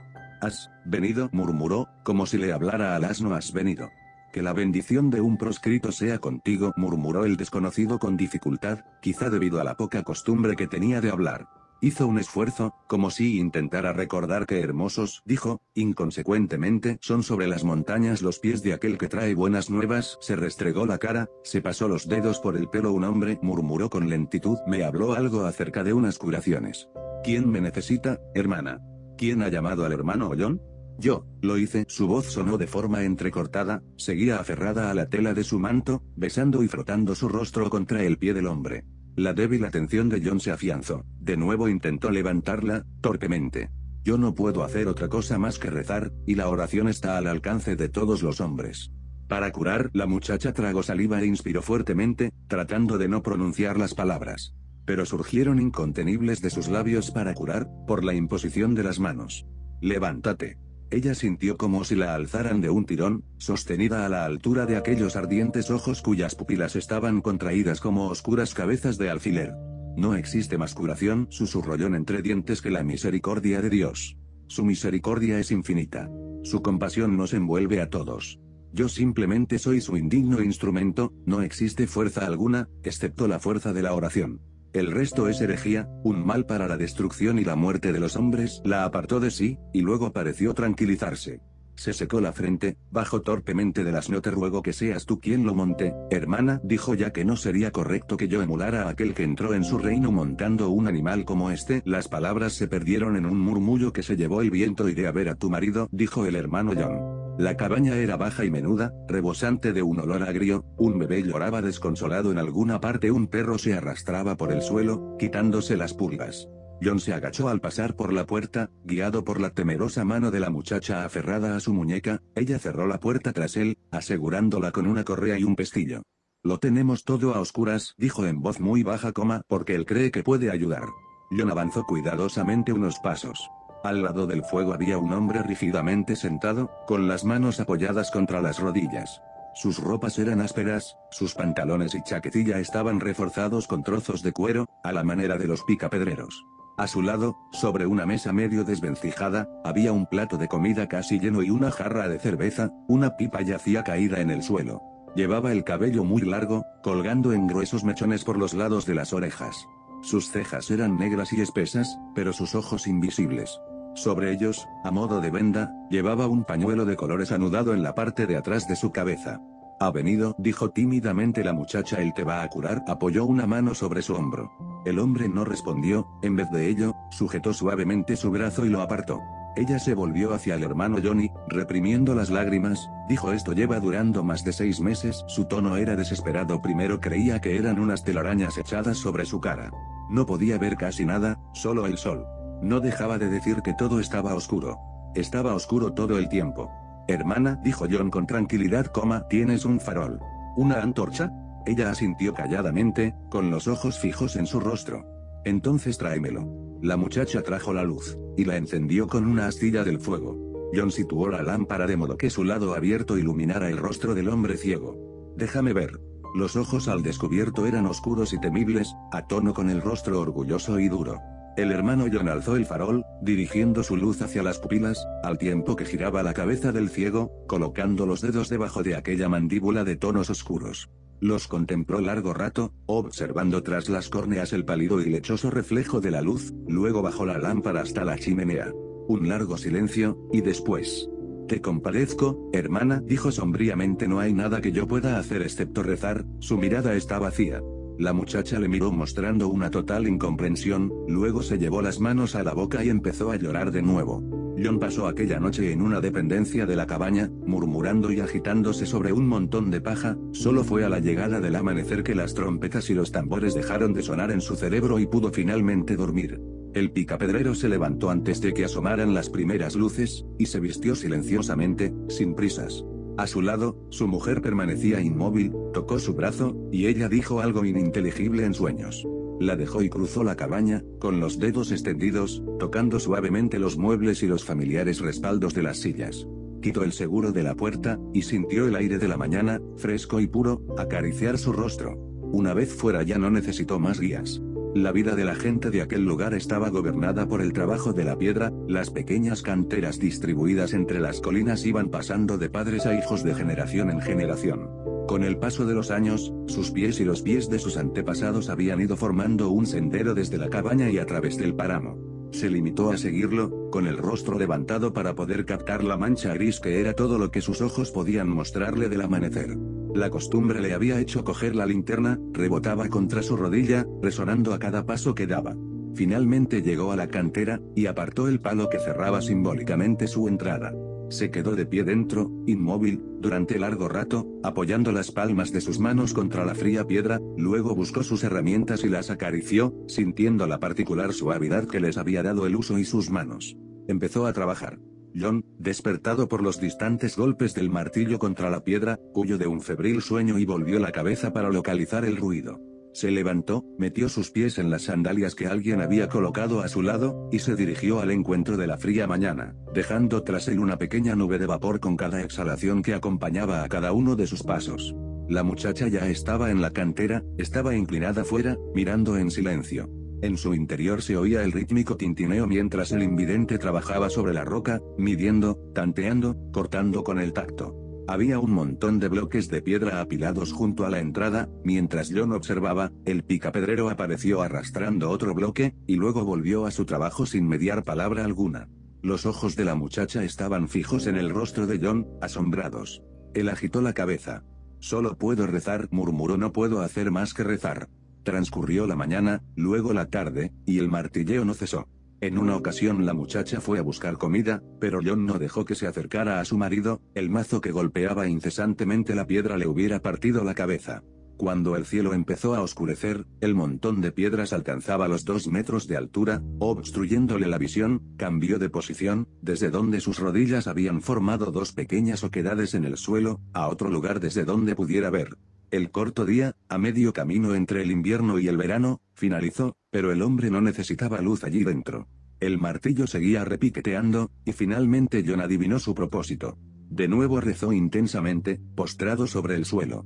Horas más tarde se durmió, pese a la fuerza del viento.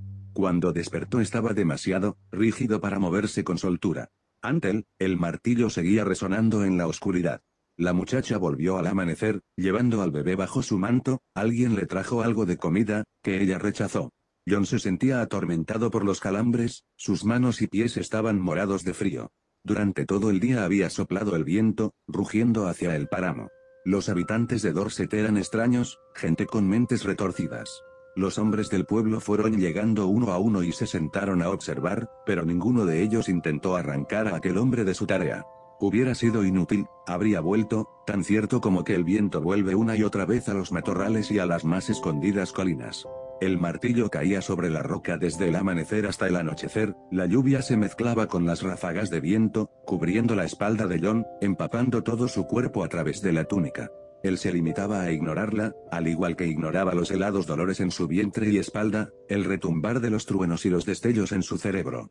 Los antiguos dioses lo habrían comprendido, pensó, aquellos que rugían y sudaban durante todo el día, arrancándose los intestinos los unos a los otros en interminables guerras para caer, morir y despertarse con cada sombra del anochecer, emborrachándose para despedir la noche en su palacio del Balaya. Pero ¿y el dios cristiano? ¿Qué pensaría él? ¿Aceptaría el sacrificio de la sangre, como aceptó las almas desgarradas de sus brujas? Desde luego, murmuró el cansado cerebro de John, porque es el mismo. Su bebida es la sangre. Su comida es la carne. Sus sacramentos son el trabajo y la miseria y un interminable y desesperanzado dolor. Con la llegada del segundo amanecer, los montones de piedra se extendían ya varios metros sobre el suelo, y el mazo aún seguía cayendo, vacilante e irregular, cortando más. Piedras para los palacios de los ricos, catedrales para la gloria de Roma. El tremendo viento rugía entre las colinas, agitando el manto de la muchacha mientras permanecía sentada, paciente como una vaca, con las manos cruzadas sobre las piernas, los ojos brillando con un dolor medio compartido, medio comprendido. John se agachó, derrotado, incapaz de seguir en pie, con los dedos congelados en una posición inconsciente, mientras la gente del pueblo observaba severa desde el otro lado de los matorrales. Y llegó el final, el sacrificio fue ejecutado y aceptado, el trabajador de la piedra vació boca abajo, el material para un sinfín de leyendas. Una vena pulsaba en pequeñas convulsiones en su cuello de curtida piel, la sangre brillaba vivamente en su boca y garganta, su cuerpo tosió y se agitó, intentando buscar una mejor posición, y John, arrastrándose hacia adelante sobre sus inútiles rodillas y manos, supo antes de llegar a él que estaba muerto. Se levantó, con un agónico crujir de huesos. La muchacha se quedó observando tristemente a sus pies, como una piedra más entre las grises colinas de piedra, su sombra se extendía ante él, delgada y larga, ajustándose a la densa hierba de los matorrales. El hermano John se dio la vuelta lentamente, sintiendo que el ataque de los tambores empezaba una vez más en su cerebro, alzó su pálido rostro hacia un sol que brillaba de forma extraña. Se hizo más y más brillante, un fantasma cósmico, un algo imposible suspendido en medio del tempestuoso cielo que iba aumentando a cada segundo. John gritó roncamente, alzando los brazos al aire, y alrededor de la esfera se formó un círculo, nacarado y resplandeciente, y luego otro y otro más, llenando el cielo, sumergiéndolo todo, quemado, helado como la nieve, hasta que con un silencioso trueno sus diámetros se unieron, formando una cruz de llamas de plata, ondulantes e inmensas.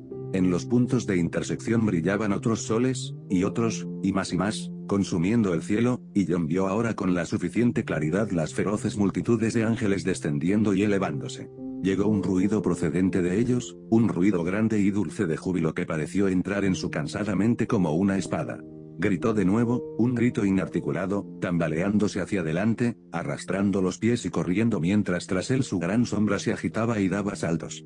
Entonces la gente echó a correr también, unos hacia los páramos, otros por la calle mayor del pueblo, como si él fuese el centro de divergencia, llamando y golpeando las cerradas puertas de las casas, mientras la palabra se movía más rápido que los pies, mucho más rápido que el más veloz de los caballos, decía que los cielos se habían abierto en torno al hermano John, transfigurados de gloria. La historia empezó a crecer, alimentándose a sí misma, hasta que Dios mismo en persona bajó la vista para mirar con sus propios ojos a través del arco azul del cielo. Los soldados lo oyeron, en Golden Cap y en Weymouth y en Bull en el interior del páramo, los telégrafos piquetearon la noticia de que un distrito rural se estaba alborotando. Se enviaron mensajes pidiendo refuerzos, municiones y pólvora, caballería, armas pesadas. Tarnovaria respondió, al igual que Burmas y Pool, pero el revuelo estaba ya en las torres, derribándolas como débiles árboles. A mediodía las líneas estaban silenciosas, incluso Golden Cap era un amasijo de palos rotos. El comandante de la guarnición allí destacada reclutó un batallón de infantería y dos de caballería, y partió a marchas forzadas, esperando contra toda esperanza abortar la rebelión en su inicio. Un hombre y solo un hombre podía acaudillar el populacho e incitarlo a luchar, el hermano John. Esta vez, de un modo u otro, el hermano John tenía que desaparecer. La gloria se desvaneció, pero la gente seguía llegando, reuniéndose en los páramos, luchando con sus carros y sus carretas en las colinas, encallándose en los empantanados caminos mientras intentaban llegar hasta él. Algunos le traían ropa, dinero y comida, ofertas de cobijo, caballos rápidos. Le rogaban que escapara, le advertían que los soldados se estaban apresurando para cortarle el paso, pero el ruido que aún retumbaba en sus oídos le ensordecía, y las visiones del sol, brillando en su cerebro, cegaban los últimos vestigios de su razón. Las huestes, el ejército de harapientos, crecía a sus espaldas mientras él se tambaleaba por entre los matorrales, con el rostro tendido hacia el gran viento del sur. Algunos trajeron armas, horcas, guadañas y cuchillos montados al extremo de un palo, fusiles que habían permanecido escondidos en el techo de paja de una veintena de cabañas. Entonando cánticos, llegaron al mar, y siguieron, a caballo y a pie, por los empinados caminos de Kimerich, hasta llegar a una pequeña ensenada y a la ferocidad del agua. Allí se enfrentaron finalmente al contingente de Golden Capítulo. Los soldados de Azul atacaron, pero los rebeldes eran demasiados. Una carga, una dispersión, un hombre derribado, pisoteado y degollado, los gritos fueron transportados por el viento, algo rojo quedó abandonado sobre la hierba, agitándose todavía, un caballo que corría sin jinete fue herido por unas picas. Los papistas se retiraron, manteniendo la columna a tiro de mosquete, hostigándola sin cesar para obligar a la vanguardia a que les hiciera frente. El hermano John ignoró la escaramuza, o quizá nunca llegó a saber de ella. Iba montado a caballo, y guiado por las voces y sonidos de su mente, llegó al borde del acantilado. Allá abajo se extendía una gran superficie de agua agitada y blanca, precipitándose en el horizonte e incluso más allá. Pero aquí arriba no había olas, el huracán, sobre el que un hombre hubiera podido recostarse, descabezaba las crestas espumosas. Desde una multitud de grietas en el acantilado caían chorros de agua a la bahía, pero los pequeños cursos de agua eran atrapados por las ráfagas de viento y lanzados contra las aristas de las rocas, formando arcos ascendentes que alimentaban un agitado mar de aluvión. En los acantilados, John detuvo su caballo, el animal se giró, resistiéndose, con la crin ondeando al viento.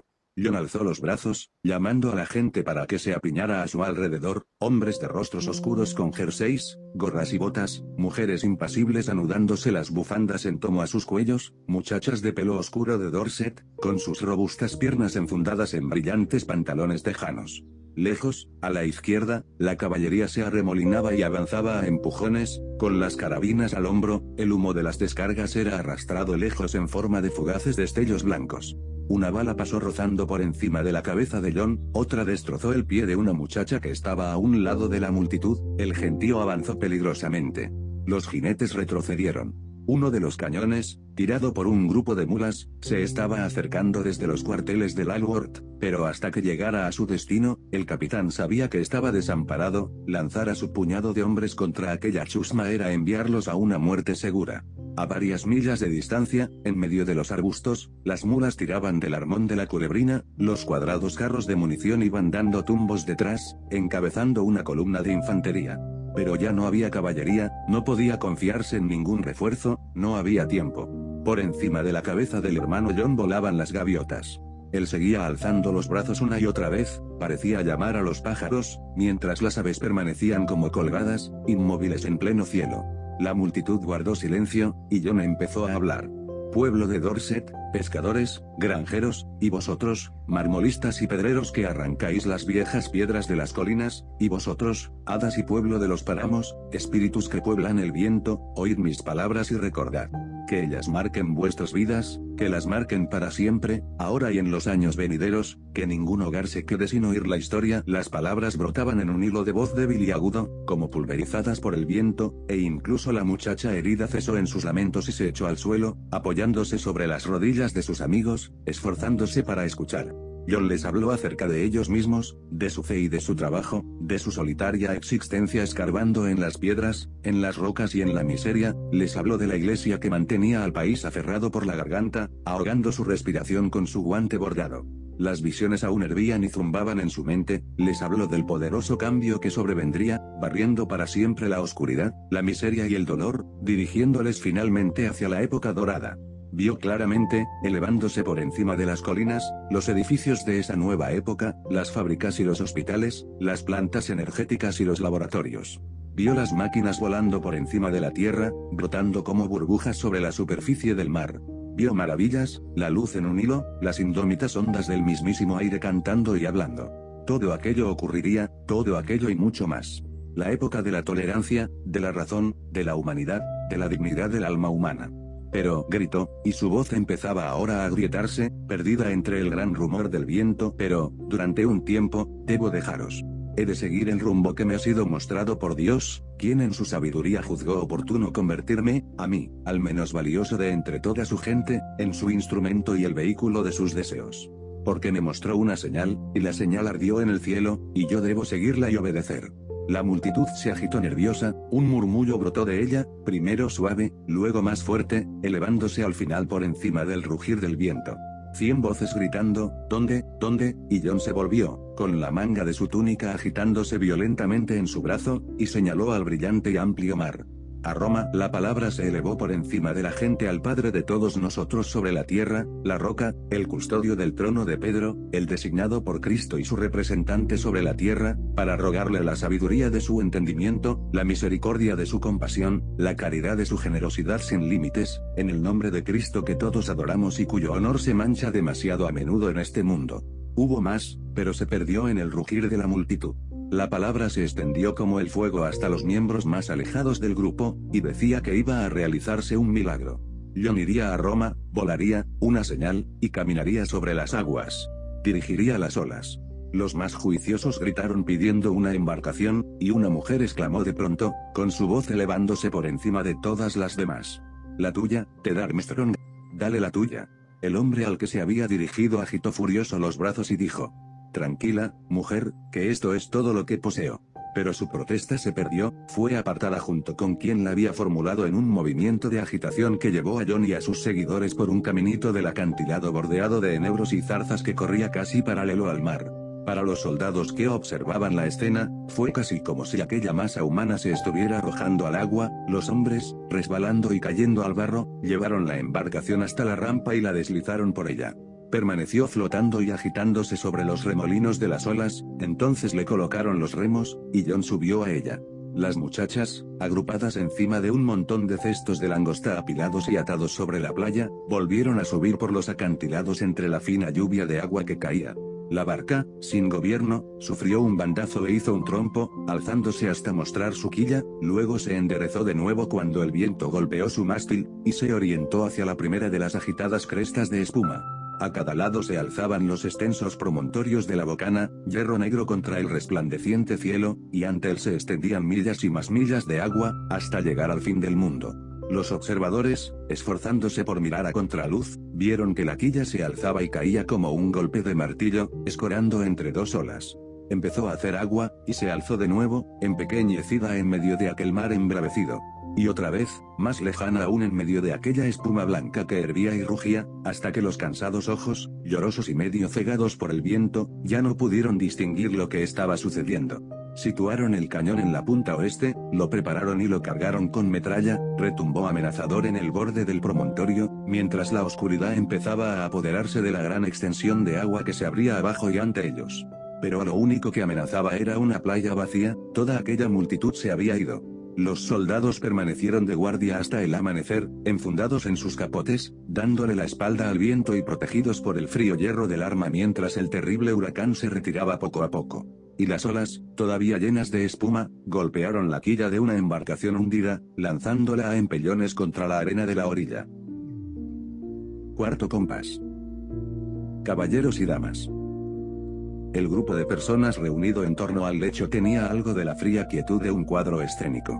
Una lámpara, colgada de una de las pesadas vigas sobre sus cabezas, hacía resaltar los contornos de sus rostros, acentuando la palidez del enfermo que yacía con un extremo de la estola color violeta del padre Edwards metido bajo su cuello, con la tela estirada entre ellos como un estandarte de fe. Los ojos del anciano giraban sin cesar, sus manos se aferraban a la colcha mientras inhalaba cortas y dolorosas bocanadas de aire. Apartada del grupo, como formando parte de una pintura cuyo marco era la ventana de la habitación y cuyo fondo era el cielo, había una muchacha sentada, envuelta por las últimas luces del cielo azul de mayo. Su larga y rubia melena estaba recogida en un moño sobre su nuca, se le había soltado un mechón de pelo, que caía sobre su hombro rozó su mejilla cuando volvió la cabeza, lo apartó irritada y miró por la ventana, hacia los cobertizos de las máquinas, donde la última locomotora giraba aún en el patio, entre estruendos y sacudidas, maniobrando en dirección a su muelle. El aroma a aceite y vapor parecía filtrarse por la ventana, Margaret creyó sentir el momentáneo calor de la máquina de vapor contra su rostro, llenando el aire con un gigantesco aliento. Culpable, volvió la vista hacia el interior de la habitación. Su mente, medio aturdida, traducía fragmentos del murmullo en latín que brotaba de los labios del sacerdote. Yo te exorcizo, el más vil de los espíritus, la mismísima encarnación de nuestro enemigo, el espectro total. En el nombre de Jesús Cristo, sal y aléjate de esta criatura de Dios. La muchacha entrecruzó los dedos sobre su regazo, apretándolos para sentir cómo los nudillos se fundían entre sí, y bajó la mirada. La lámpara holandesa que colgaba del techo se balanceaba ligeramente, su llama titilaba, pese a que no había viento. El padre Edwards hizo una pausa y alzó la cabeza con tranquilidad para echar un vistazo a la lámpara. La llama se calmó y ardió de nuevo alta y brillante. Se oía un sollozo ahogado procedente de la vieja Sara, a los pies de la cama, Tim Strange se le acercó y apretó su mano. El que te dirige, aquel que te ha ordenado descender desde las alturas del cielo hasta las profundidades de la tierra, el que a ti te manda, aquel que manda en el mar, los vientos y las tormentas. Escucha pues y teme, oh Satanás, enemigo de la fe, peligro de la raza humana. Abajo, la locomotora seguía chirriando, más suavemente ahora. Margaret se volvió, reacia. Era extraño cómo el sonido de acero engrasado podía evocar un tal cuadro de imágenes, las carreteras en las noches de verano, líneas de un gris blanquecino extendiéndose hacia la oscuridad, con el calor del sol aún presente y el murmullo de un búho o el chillido de un murciélago cazando, el zumbido de algunos insectos en el aire de la madrugada, los polluelos de los pájaros piando por su alimento, hierba alta hasta la rodilla, densa como el terciopelo negro bajo la luz de la luna, altos y gruesos troncos rebosantes con el perfume de sus flores. Deseó, en un intenso instante de ansiedad, alejarse de aquella habitación y de la casa y poder correr y bailar, dejarse caer rodando por la hierba hasta que las estrellas dieran vueltas sobre su cabeza, salpicándola con sus destellos. Trago saliva, e instintivamente hizo la señal de la cruz. El padre Edwards la había aconsejado muy especialmente acerca de tales veleidades de pensamiento, cualquier aberración que pudiera anunciar el advenimiento de un espíritu posesivo y vengador. Porque has de saber, hija mía, le había advertido solemnemente el sacerdote, citando un pasaje del Enchiridion de Bomberg, que se acercarán dócilmente, pero después dejarán tras ellos solo dolor, desolación, molestia y brumas en la mente. Una vena latía en la sien del padre Edwards. Margaret se mordió los labios. Sabía que ahora debería ir con él, unir el esfuerzo de sus plegarias a las del sacerdote, pero no podía moverse. Algo la retenía, la misma cosa que había bloqueado su habla durante la confesión no la dejaba acercarse ahora.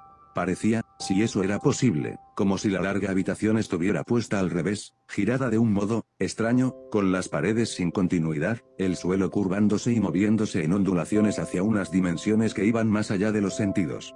Como si la corta distancia que la separaba del grupo al lado de la cama se hubiera convertido en un abismo que ella hubiera cruzado para hallarse en otro planeta. Agitó la cabeza como para intentar apartar aquella idea que la irritaba, pero la fantasía proseguía. Sintió un momento de vértigo, un balanceo sobre la nada, la terrible sensación de caída propia de una pesadilla. La habitación se asentó en sus nuevas dimensiones, la parte de arriba era ahora representada por dos direcciones distintas, la lámpara, colgando inmóvil parecía estar inclinada hacia ella, a sus espaldas, la ventana se inclinaba hacia el lado opuesto. Inspiró lentamente una bocanada de aire, sintiéndose sofocar, y los olores y las visiones volvieron de nuevo, reconfortantes y tranquilizadoras, ofrendas del infierno. El dulce aroma de las hierbas, un vivo hedor de surcos nuevos donde se enterraba el pan y otras cosas en claro desafió a la madre iglesia. Deseaba desahogarse, aferrar la túnica del sacerdote e implorar su perdón, decirle que interrumpiera sus plegarias porque la ofensa y el mal yacían en ella. Trató de gritar, y creyó haberlo hecho, pero una parte en lo más profundo de su ser supo que sus labios no se habían movido. Todavía podía ver al padre Edwards como a través de un cristal oscuro, la mano subiendo y bajando, haciendo la señal de la cruz una y otra vez, podía oír la perseverante voz, pero tenía la sensación de hallarse a un millón de millas, lejos en medio del frío calor de las estrellas y las hogueras sobre montones de muertos desde donde observaban los antiguos. Era débilmente consciente de un vivo repiqueteo que iba elevándose de forma paulatina. Las cortinas se agitaron de pronto, inesperadamente, ante la ventana. La llama de la lámpara osciló de nuevo, adoptando un tono dorado. Ríndete pues, ríndete y no ante mí, sino ante el ministro de Cristo, puesto que la fuerza de él te domina, la de aquel que te subyugó hasta la cruz, tiembla ante su brazo. El ruido en la habitación era atronador. Margaret cayó hacia arriba, hacia la noche. Una voz brotó de la oscuridad, estridente y clara. Margaret. Margaret. Una pausa, y luego. Vuelve ahora mismo pero la voz podía ser perfectamente ignorada, hasta la llamada definitiva. Margaret Melinda Strange, haz el favor de volver ahora mismo. Aquello, la mística invocación de su segundo nombre, no debía ser desatendido nunca. Desafiarlo hubiera significado una clara invitación a una bofetada, a ir a la cama sin cenar, y eso hubiera sido una cosa terrible en una cálida noche de verano. La jovencita estaba de puntillas, agarrándose con los dedos a la parte de arriba del escritorio. Su plana superficie se extendía a unos pocos centímetros de su nariz. El reflejo mostraba todos los nudos y vetas de la madera, brillante, mágica, con esa magia especial de las cosas de los adultos. Tío Jesse, ¿qué estás haciendo? Su tío dejó la pluma, se pasó los dedos por entre su denso pelo, aún negro, aunque tocado con alguna nota plateada en las sienes. Se subió las gafas de montura metálica hasta que se acoplaron al puente de su nariz, y su voz retumbó en los oídos de la niña. Ganando dinero, supongo nadie hubiera podido llegar a decir si estaba sonriendo o no. Margaret alzó el botón que era su naricita. Buff, el dinero era para ella un asunto incomprensible, la palabra cobraba en su mente una forma voluminosa y amarrollada como los libros de cuentas sobre los que se afanaba su tío, algo lejano y falto de interés, pero vagamente siniestro. Buff, sus rollizos deditos se afianzaron en el borde de la mesa y ganas mucho dinero? No está mal, supongo. Jesse volvió de nuevo al trabajo, y su puño disimuló las líneas de elegantes cifras que acababan de nacer sobre el grueso papel. Margaret alzó la cabeza hacia él, intentando verle la cara y frunciendo de nuevo su naricita. Esto último era un verdadero logro, y se sentía orgullosa de él. Repentinamente dijo dos puntos, ¿te molesto? Jesse sonrió, con la mente llena de cifras. No, bonita. Sara dice que siempre molesto. ¿Qué estás haciendo? Sin pensar, la eterna respuesta. Ganando dinero. ¿Y para qué quieres tanto? El robusto hombre se quedó boquiabierto, con los brazos a medio alzar, un gesto extraño. Lanzó una mirada al techo, con el total de lo que había estado sumando borrado de su mente, y se volvió para alzar a la niña hasta sus rodillas, sonriendo de nuevo. ¿Para qué? Bien, señorita, creo que, creo que no sabría decírtelo en este momento. Margaret permaneció sentada, observándole, frunciendo un poquito el ceño y olfateando el aroma de tabaco que provenía de él, con sus regordetas piernas colgando y las rodillas muy sucias. La parte trasera de sus calzas estaba negra de tierra y grasa de jugar con Neville Sergingson en el huerto de detrás de los almacenes, al lado de las cajas y los raíles viejos de acero. El encargado de zona había colocado los raíles para que los niños pudieran jugar y para que no molestaran. Siempre se les podía encontrar en los cobertizos, y era fácil controlarlos cuando se agrupaban para ver pasar las grandes máquinas de hierro, aquellos críos eran la perdición de su existencia. Creo, dijo Jesse. Se detuvo de nuevo, pensando y riendo bien, es para poder poner cien mil allá donde una vez solo ponía diez. Solo que tú no puedes entenderlo, ¿verdad? Le acarició levemente el pelo, y sus dedos se enredaron en un mechón que había sido rubio y que ahora estaba amazacotado y negro por la grasa de las máquinas. Has estado otra vez en los cobertizos. Sara te va a dar una buena paliza, que me aspen si no va a hacerlo. No voy a ir con Sara. Me quedo contigo. La niña se revolvió, tendió un brazo para coger un sello de goma y lo estampó en el papel secante, luego, a falta de otras superficies dañables, la mano de Jesse sirvió de base. Las palabras aparecieron ligeras, azul brillante sobre las arrugas de la piel, Strange e hijos, de Dorset, transportistas. Margaret Melinda Strange. Jessie la bajó al suelo y se echó a reír, sacudiéndose el polvo de los pantalones mientras ella echaba a correr. El recuerdo permanecía en Margaret, uno de aquellos curiosos y arbitrarios momentos de la infancia que parecen enrollarse en torno a la conciencia para no ser olvidados nunca. El rostro de su tío, duro, lleno de arrugas, con su eterna expresión melancólica, cerca y por encima de ella, los rayos del sol extendiéndose sobre la mesa, Sara llamando, el sello con su protuberante pomo negro y la pequeña muesca de bronce que señalaba dónde estaba el pie cuando se estampaba sobre el papel. Fue un momento bastante especial, va que Jesse nunca fue un hombre extrovertido.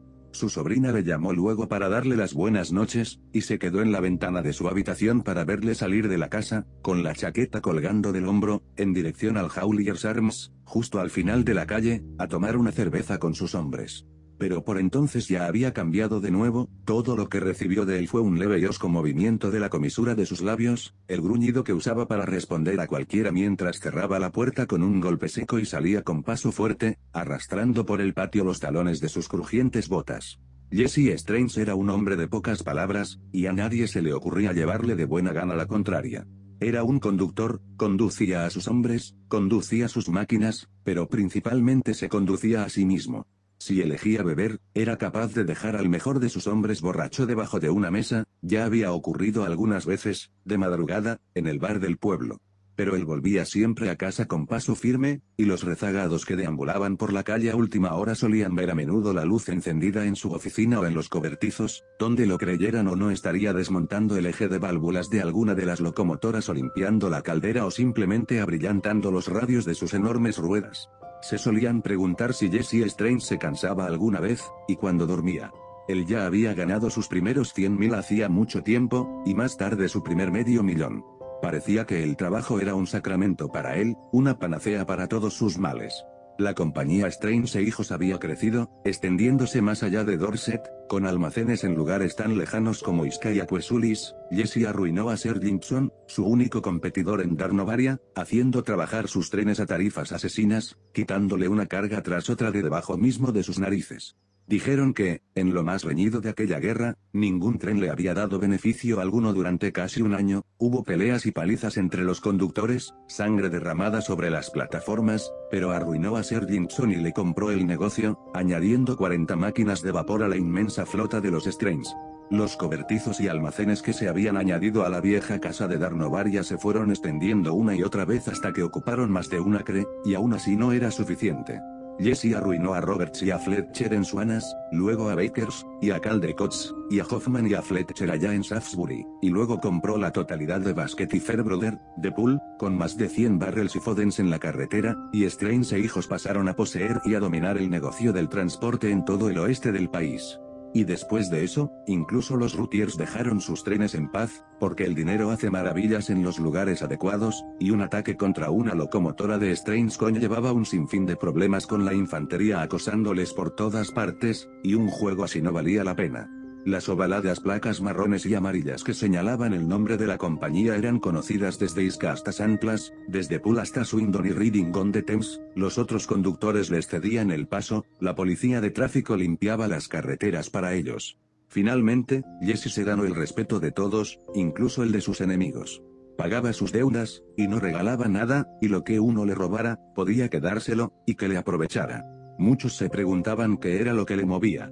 En la universidad había sido un soñador, con la cabeza en las nubes, pero alguien, en algún lugar, le había enseñado lo que era la vida. Algunos murmuraron que en una ocasión había matado a un hombre, a un amigo, y el imperio que había construido era en cierto modo su expiación, corría incluso el rumor de que fue plantado por una camarera, y que esta era su respuesta al mundo. Era cierto que nunca se casó, aunque hubo bastantes mujeres que más tarde se dieron cuenta de que habrían aceptado su forma de ser, y hombres que hubieran vendido sin pensárselo a sus hijas con tal de unir su familia al nombre de Strange, pero nadie lo consiguió. Nadie se atrevió a preguntarle de un modo directo y sincero, nadie excepto su sobrina, y aunque ella recordaba lo que él le había contado, no lo entendía. Margaret sintió que el tiempo avanzaba bruscamente para ella. Ahora iba a la escuela, a unas 20 millas de Sherborne, para su primera estancia en un internado. Media milla de camino por las calles de Darnovaria, una muñequita pequeña dando trompicones del brazo de Sara, llevaba un uniforme nuevo y una cartera de piel colgada del hombro, repleta de manzanas y dulces, compasivos trozos del hogar con la cabeza alta y simulando un rostro sereno, inspirando ruidosamente el aire para poder detener los lloros y gritos contra la injusticia de todas las cosas, mientras iba de camino hacia la muerte o algo peor. Sara parecía inmensa, los ladrillos del pavimento, los guijarros y las viejas casas inclinadas parecían inmensos, del mismo modo que las tardes y las mañanas habían parecido inmensas, cada cosa era una entidad separada en su mente a medida que iba marcando los días que faltaban para el inicio de la escuela. La noche pasada, la mañana pasada, una inevitabilidad ante la que parecía suspendida, un sueño dentro de un sueño. La mañana de septiembre era azul, llena de bruma y frío, y ella caminaba llena de escalofríos mientras imágenes varias flotaban remotas y sin conexión, y su cuerpo era una máquina transportada por unas piernas casi olvidadas. Por la calle pasó un tren de carretera, y la luz del hogar de la locomotora resplandeció sobre el rostro del conductor y el piloto, y la niña deseó, con una súbita amargura, dar un paso al frente y ser llevada, ocultarse bajo una lona de carga en medio del estruendo y de la oscuridad para finalizar algún misterioso circuito cerrado en su propia habitación de casa, pero en vez de ello giró mecánicamente hacia la izquierda, en dirección a la estación, colgada todavía del brazo de su haya. La vieja Sara, a menudo odiada, parecía encantadora ahora, pero en ella no cabía la compasión. El tren aguardaba, repleto y húmedo, Margaret se sintió atraída hacia él, permaneció con su carita pegada a las ventanillas, llenándose la nariz y los dedos de carbonilla mientras Sara, la estación y el resto del mundo se concentraban en un punto que se iba consumiendo tras ella y que finalmente desapareció para siempre. Y allí estaba la escuela, la gran casa oscura y fría, y las extrañas monjas con sus sorprendentes capuchas blancas y almidonadas, con sus murmullos y el ruido de sus pies cruzando el suelo de piedra de las salas. Un crepúsculo de soledad, sombrío e insoportable, roto finalmente por breves destellos de esperanza, cartas a casa, un pastel, una caja de fruta depositada sobre una mesa del salón los días de juego congelados en vívidas imágenes, conversaciones de dormitorio en voz baja, los primeros atisbos de amistad. El tiempo pasó con rapidez, mientras África se convertía en un continente y Pierre II era obligado a igualar el área de un círculo y César luchaba contra los galos. Otros días y otros meses transcurrieron de forma imposible, y se acercaron las navidades.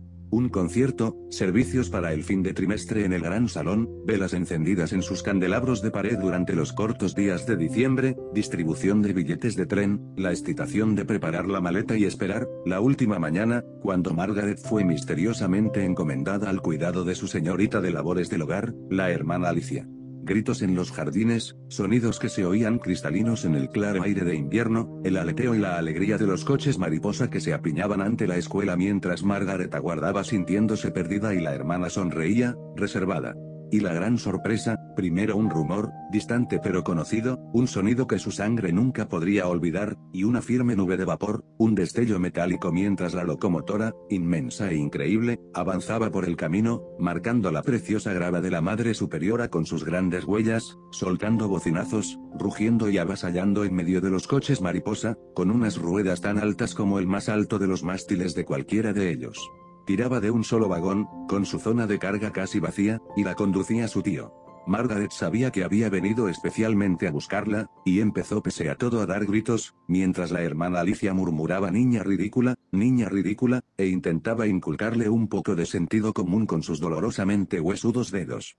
Fue levantada en brazos con expectación para que tirara de la cuerda que despertaba la profunda e inmensa voz de la Barrel, mientras los niños se agrupaban alrededor de las ruedas, llenos de admiración y de sonrisas, hasta que Jessie les hizo subir a todos para darles una pequeña vuelta.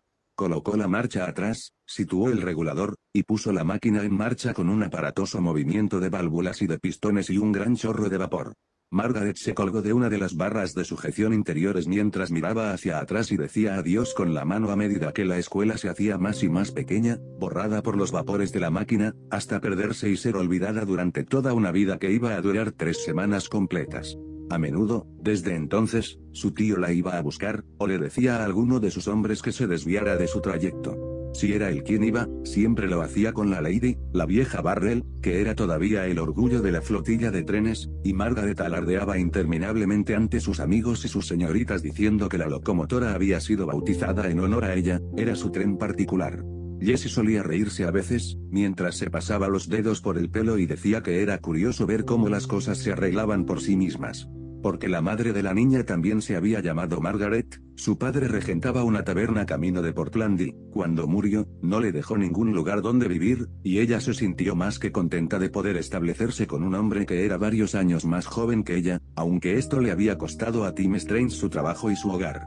Pero a la mujer no le costó demasiado cansarse de ser la esposa de un simple transportista, dos años más tarde huyó con un juglar del señor de Parve, Tim volvió a casa con la carga de aquel bebé, mientras Jessie se reía tranquila y plácidamente y le cedía la mitad de su negocio. Pero todo aquello había ocurrido hacía mucho tiempo, antes de que Margaret fuera lo suficientemente mayor como para poder recordarlo. Otras situaciones posteriores estaban aún frescas en su mente, otras facetas de su extraño e irregular tío. Recordaba claramente como un día, corriendo hacia él con una caracola en la mano, le dijo que escuchara atentamente porque podría oír las olas dentro. Entonces él había robado una parte del interminable tiempo dedicado a ganar dinero y se la había llevado a las colinas, donde habían encontrado una cantera y habían sacado un fósil de las rocas, que ella se llevó también a la oreja por indicación suya, y pudo escuchar la misma canción, y él le había dicho que era el ruido que hacían los años, todos los millones de años que se encontraban allí encerrados, y que zumbaban en su intento por liberarse. Después de aquello mantuvo la piedra contra su oreja durante largo rato, y cuando hubo pasado más tiempo y descubrió que los ruidos y murmullos no eran más que los ecos de sus propios latidos, no se sintió molesta, porque ya había oído lo que había oído, el sonido de la eternidad atrapada. El crecimiento de la compañía había envejecido mucho a Jesse, eso, y la junta de la caldera que reventó y le arrancó la piel de la mitad de la espalda antes de que pudiera reaccionar a la primera impresión y ponerse a salvo. Las locomotoras cobraban de una forma muy curiosa sus impuestos a los hombres que las utilizaban.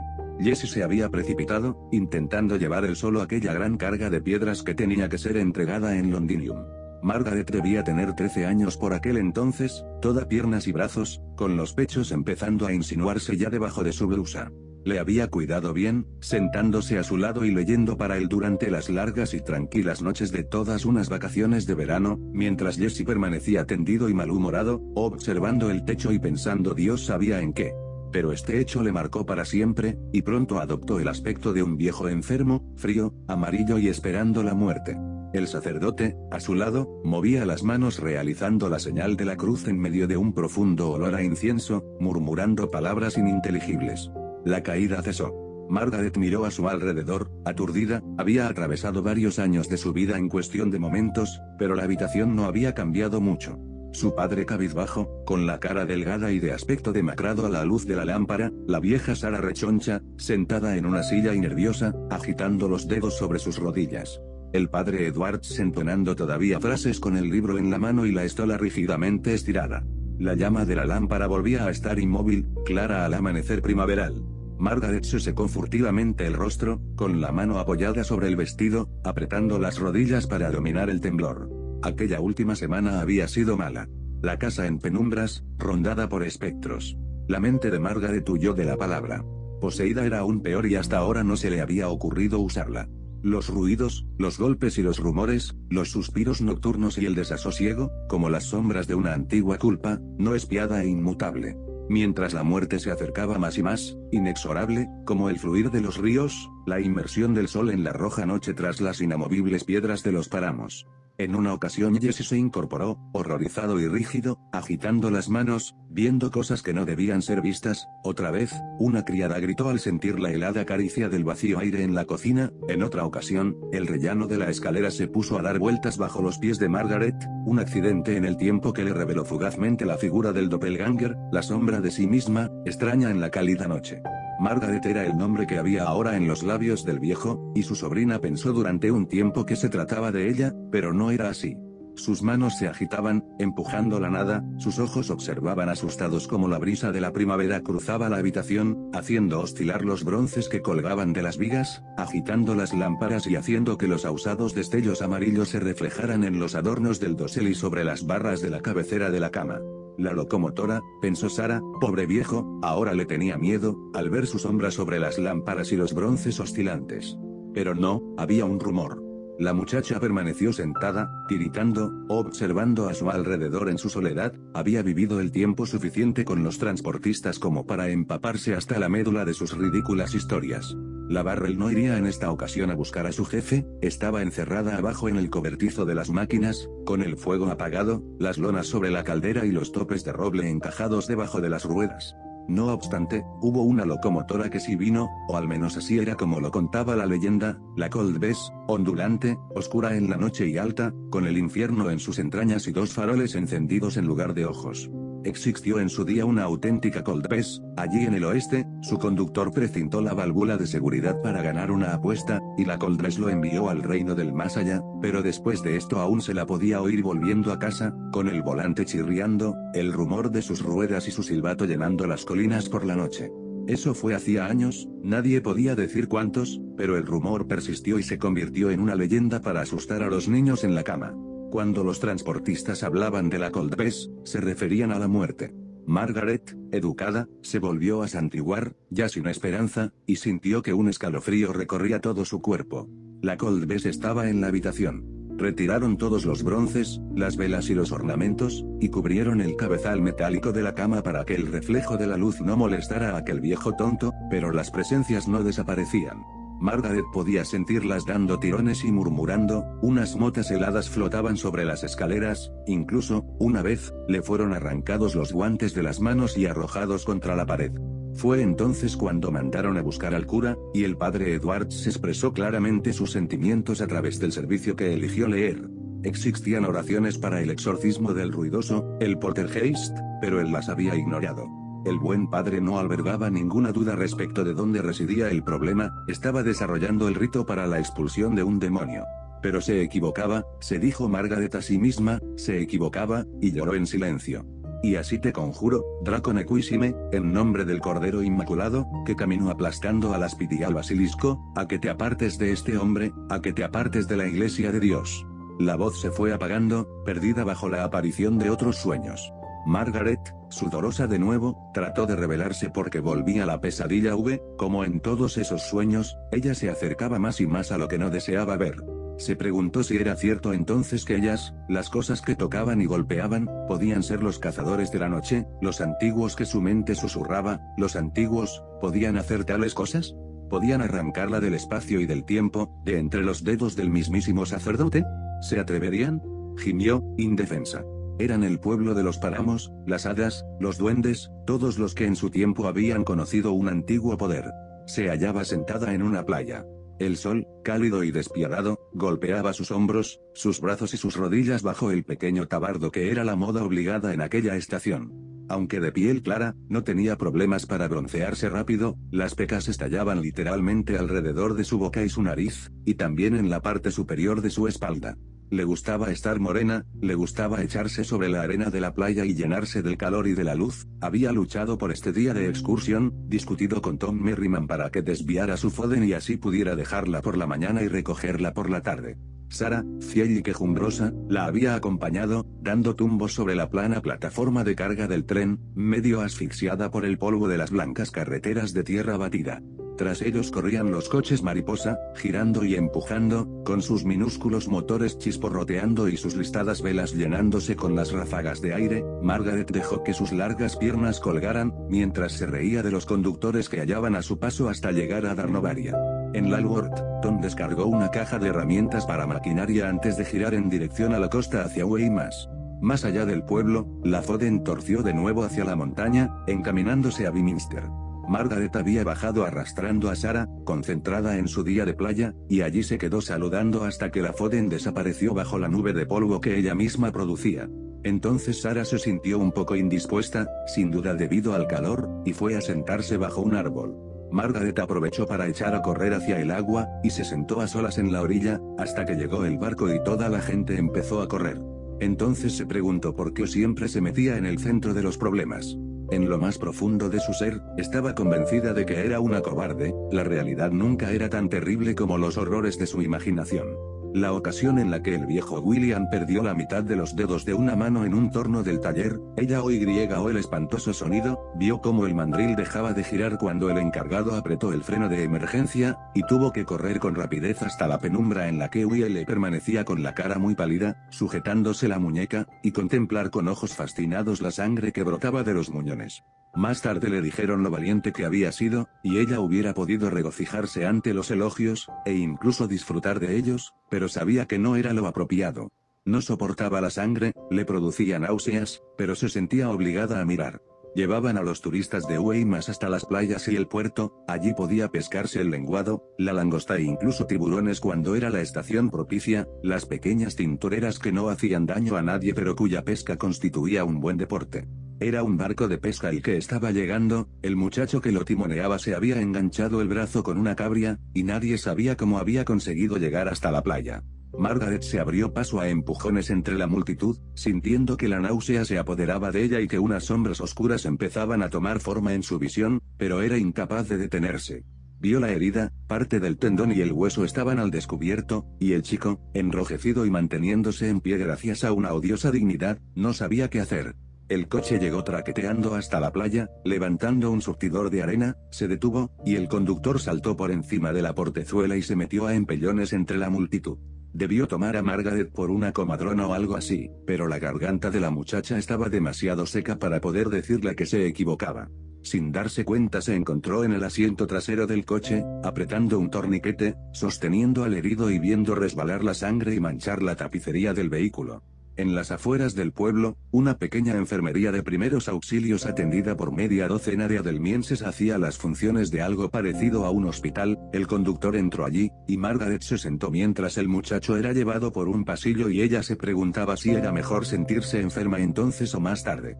Al cabo de un rato salió, sin ser plenamente consciente de lo que estaba haciendo, y empezó a caminar. Sara quedó olvidada, se sentía medio deprimida y le parecía ver a toda la humanidad como bolsas de piel a la espera de ser reventadas y morir llenas de dolor, ella misma era una mujer atrapada en un cuerpo frágil, sangrando en el parto, sangrando en el primer acto. Estaba muy impresionada, y se sintió morir. La playa a la que finalmente llegó parecía extenderse a lo largo de millas y más millas. Siguió los acantilados que la bordeaban, recorriéndola de punta a punta, observando el mar azul y blanco, los reflejos de la sal que el viento dispersaba, sin objetivo y sin objeto. Llegó al agua a través de un camino de arena, pensó que tal vez pudiera darse un baño, pero inmediatamente recordó que tenía algo que hacer y vomitó tras una aulada. Luego se sentó sobre una roca que le lastimaba el trasero y se puso a meditar, recogiendo piedrecitas de alrededor de sus pies y lanzándolas al agua, observando cómo el sol quemaba el mar en malejas y rizos de luz. Cuando le llegó la voz, apenas penetró en su conciencia, el desconocido tuvo que gritar de nuevo. Hola. Era corpulento y llevaba barba, tenía el rostro enrojecido, y no parecía acostumbrado a que le ignoraran. Margaret se dio la vuelta y le miró abatida. ¿Qué demonios crees que estás haciendo? Se encogió de hombros, como indicando mar, y tirando piedras en él. Él bajó hasta su lado. Bien que me has hecho bailar, maldita sea, la cogió insolentemente por la barbilla, con una mano de gruesos y callosos dedos sí, dijo, asintiendo con la cabeza un buen baile. Ella lo atravesó con la mirada. Luego, ¿está muerto? Hizo la pregunta como si no sintiera el menor interés, el momento de rabia había pasado, dejándola vacía y abatida. El desconocido se echó a reír. No ese bastardo plebeyo. El envenenamiento de la sangre podría acabar con él, pero dudo mucho que ocurra. Ese tipo de hombres generalmente sobreviven. ¿Qué le hicieron? Había un leve tono de interés en su voz. El normando, pues estaban hablando, casi inconscientemente, por parte de Margaret, en francés normando, se encogió de hombros. Nada especial. Lo dejaron listo en un abrir y cerrar de ojos. La cuchilla del carnicero, un bote de brea. Se dejan las suturas de la vena un poco salidas, y se arrancan tan pronto empiezan a pudrirse. Ella apretó los labios. La mano del hombre se apoyó de nuevo en ella. La apartó de un manotazo. Déjame en paz. Hubo un forcejeo. Eres una muchacha hermosa, dijo el de dónde vienes, que nunca te he visto. Ella le lanzó un puñetazo. Fils de Pretre. Él reaccionó como si ella lo hubiera atravesado con una bayoneta. La empujó con fuerza, la derribó hacia atrás, se inclinó sobre ella, por un instante Margaret creyó que iba a golpearla, pero entonces él se apartó, lleno de desprecio. Eso no ha sido muy inteligente por tu parte, dijo. Le había entrado arena en un ojo, se lo frotó furioso, mientras maldecía a los infiernos, y empezó a subir de nuevo por el acantilado. A media subida se volvió y dijo estás asustada. Silencio. Eres una pequeña presuntuosa. No hubo reacción. El camino de vuelta es condenadamente largo. Margaret se incorporó, con las aletas de la nariz temblando, hinchadas de rabia, y le siguió hasta el coche. Estaba parado allí, levemente sobrecalentado, con las correas que cruzaban la capota vibrando, sus ruedas, muy separadas, le daban la impresión general de que estaba como agazapado. La ayudó a subir, la puerta tendría unas 5 pulgadas de grosor, luego entró él, soltó los frenos y apretó lo que parecía ser el regulador. El motor Bentley fue ganando velocidad con una serie de malignas sacudidas, en medio de un silencio que era casi sobrenatural, dejando un rastro de vapor. Margaret permanecía rígida, sintiendo el cuero recalentado por el sol bajo sus muslos, preguntándose por qué nunca había sido capaz de resistir un reto, quizá hubiera en ella algo incapaz de madurar. El conductor se apartó de la costa y giró de nuevo en dirección este. Las carreteras de tierra batida no eran buenas para el motor, al cruzar una de ellas exclamó algo así como daría 200 libras por un poco de macadán, tras lo cual volvió el silencio. Margaret se dio aún más cuenta de lo que antes ya sabía, que él no era un hombre cualquiera. Técnicamente, los coches de vapor estaban permitidos, pero solo los más ricos se atrevían a poseerlos, de hecho eran los únicos que podían mantenerlos. El petroleum veto había sido tácitamente reconocido desde hacía mucho como una prohibición para limitar la movilidad de las clases obreras. Al pasar por Weymouth, Margaret pensó en la vieja Sara, que debía estar desesperada buscándola y volviendo loca a la gente que rondara por allí. Le gritó que parara, pero el conductor la ignoró, solo el brillo del rabillo de su ojo, malhumorado e intenso, le indicó que la había oído. A la salida del pueblo empezó a llover. Margaret había notado hacía ya rato que se estaba preparando una tormenta, las nubes borrascosas allá al frente, de un color entre gris y amarillo polvo, amontonándose las unas sobre las otras en el azul del cielo de verano. Se sobresaltó cuando las primeras gotas la alcanzaron, colándose por encima del minúsculo parabrisas. Sin mirarla, el refunfuño. No he traído la maldita capota. Una milla más adelante disminuyó el vapor y se dignó parar bajo un enorme roble, pero por aquel entonces ella ya estaba tan empapada que no le importó, de hecho se sintió contenta cuando él decidió continuar, apartándose del movimiento incesante de las ramas. Corbes Git apareció en el horizonte, un grupo de torres que parecían colmillos de piedra. La lluvia empezó a disminuir. Cruzaron el pueblo, y una jauría de perros les siguió, enloquecida por los agudos ultrasonidos de los pistones del Bentley. El conductor atravesó la plaza y penetró en el castillo, cruzando el pórtico de la barbacana exterior. El guardia de la entrada les saludó al verles pasar. Había una feria instalada en la parte exterior de la muralla, Margaret vio dragones dorados, cariátides de formas eróticas y mojadas por la lluvia. Las máquinas del espectáculo formaban un grupo compacto, solo ligeramente más adornadas que la propia Lady Margaret. El Bentley pasó traqueteando por encima de la hierba, apartando a la gente de su camino con sus bocinas de bronce. En la puerta del mártir los rastrillos estaban casi bajados para alejar a la gente de las murallas superiores y de los recintos de la torre del homenaje, Margaret vio brotar de la gran piedra un chorro de vapor cuando las manivelas alzaron el enrejado de hierro para que el coche pudiera pasar. Cruzaron la puerta, subiendo una cuesta que parecía llegar hasta el cielo, con la capota del motor por encima del nivel de sus cabezas. El Bentley se detuvo finalmente en el interior de un garaje de roca situado debajo de las elevadas murallas de la fortaleza. Por encima de ellos, a lo lejos, ondeaban estandartes, la oriflama, antigua y espectacular, lanzada al viento solamente en los días de los santos y de las fiestas, el azul brillante de Roma, la bandera de la Unión de Gran Bretaña, en forma de cola de golondrina, los leopardos y las flores de lis de los señores de Parve que estaban ausentes, eso quería decir que su señoría no estaba en la residencia. Margaret vislumbró las banderas y las altas murallas, iluminadas ahora por el sol, a través de los pasadizos sin techo, mientras caminaba a trompicones tras su captor, con una de sus muñecas aprisionada en su zarpa y demasiado cansada para seguir discutiendo. Perdió todo sentido de la orientación, el castillo se convirtió en una enorme y confusa masa de piedra, sala tras sala, edificio tras edificio, apiñados y añadidos alrededor del colosal macizo de la torre del homenaje. Vio, a través de las estrechas aberturas de una semiderruida torre, una enorme extensión de tierra yerma que se prolongaba hasta el puerto de Poole, ascendió por una escalera de caracol que daba a una cámara donde Lord Robert de Bessex, hijo de Edward, señor de Parve, agitó irritadamente una campanilla que amenazó con desintegrarse ante su insistencia. Margaret fue puesta a cargo, sin contar con su furiosa oposición, de una corpulenta mujer con la librea marrón y escarlata de la casa. Haz algo con esto, exclamó Robert, agitando los brazos llévatelo y bañalo haz algo, antes de que empiece a estornudar. Apesta a mar. Margaret, furiosa, intentó revolverse contra él, pero la puerta claveteada de hierro ya se había cerrado de golpe. Ante sus balbuceantes acusaciones de haber sido raptada, la sirvienta se limitó a echarse a reír. ¿Qué? ¿Con su madre en casa? Él mantiene su nido bien limpio, puedes estar segura de ello. Uf. Vamos, no seas terca. Ay, condenado animalillo. La habitación a la cual fue arrastrada y dejada Margaret era pequeña en comparación con el resto de la casa. Unos delicados arcos ojivales sostenían las ventanas cuyas vidrieras repetían en brillantes colores los motivos heráldicos de los leopardos y los lirios. Parte de las paredes estaban cubiertas con tapices, en el suelo había un inmenso baño construido con bloques de mármol pulido de Parbeck. Encima de él destacaba un recargado grifo lacado en negro, repleto de anillos y relucientes adornos de cobre pulido. Un enrejado en las paredes disimulaba lo que evidentemente eran las salidas del sistema de calefacción. Margaret, muy a su pesar, se sintió impresionada, su hogar en Darnovaria estaba bien equipado, pero este era un nivel de lujo que nunca había visto. Dos muchachas la atendieron. Las observó con recelo, a punto de despedirlas sin contemplaciones, no estaba acostumbrada a que la bañaran. La única había sido la hermana Alicia, que solía lavarla a veces cuando fue a la escuela por primera vez. Ven aquí, bichito desabrido, solía decirle, tras lo cual la lanzaba a una de las grandes bañeras cuadradas repletas de agua helada y la restregaba con un cepillo de cerdas durísimas.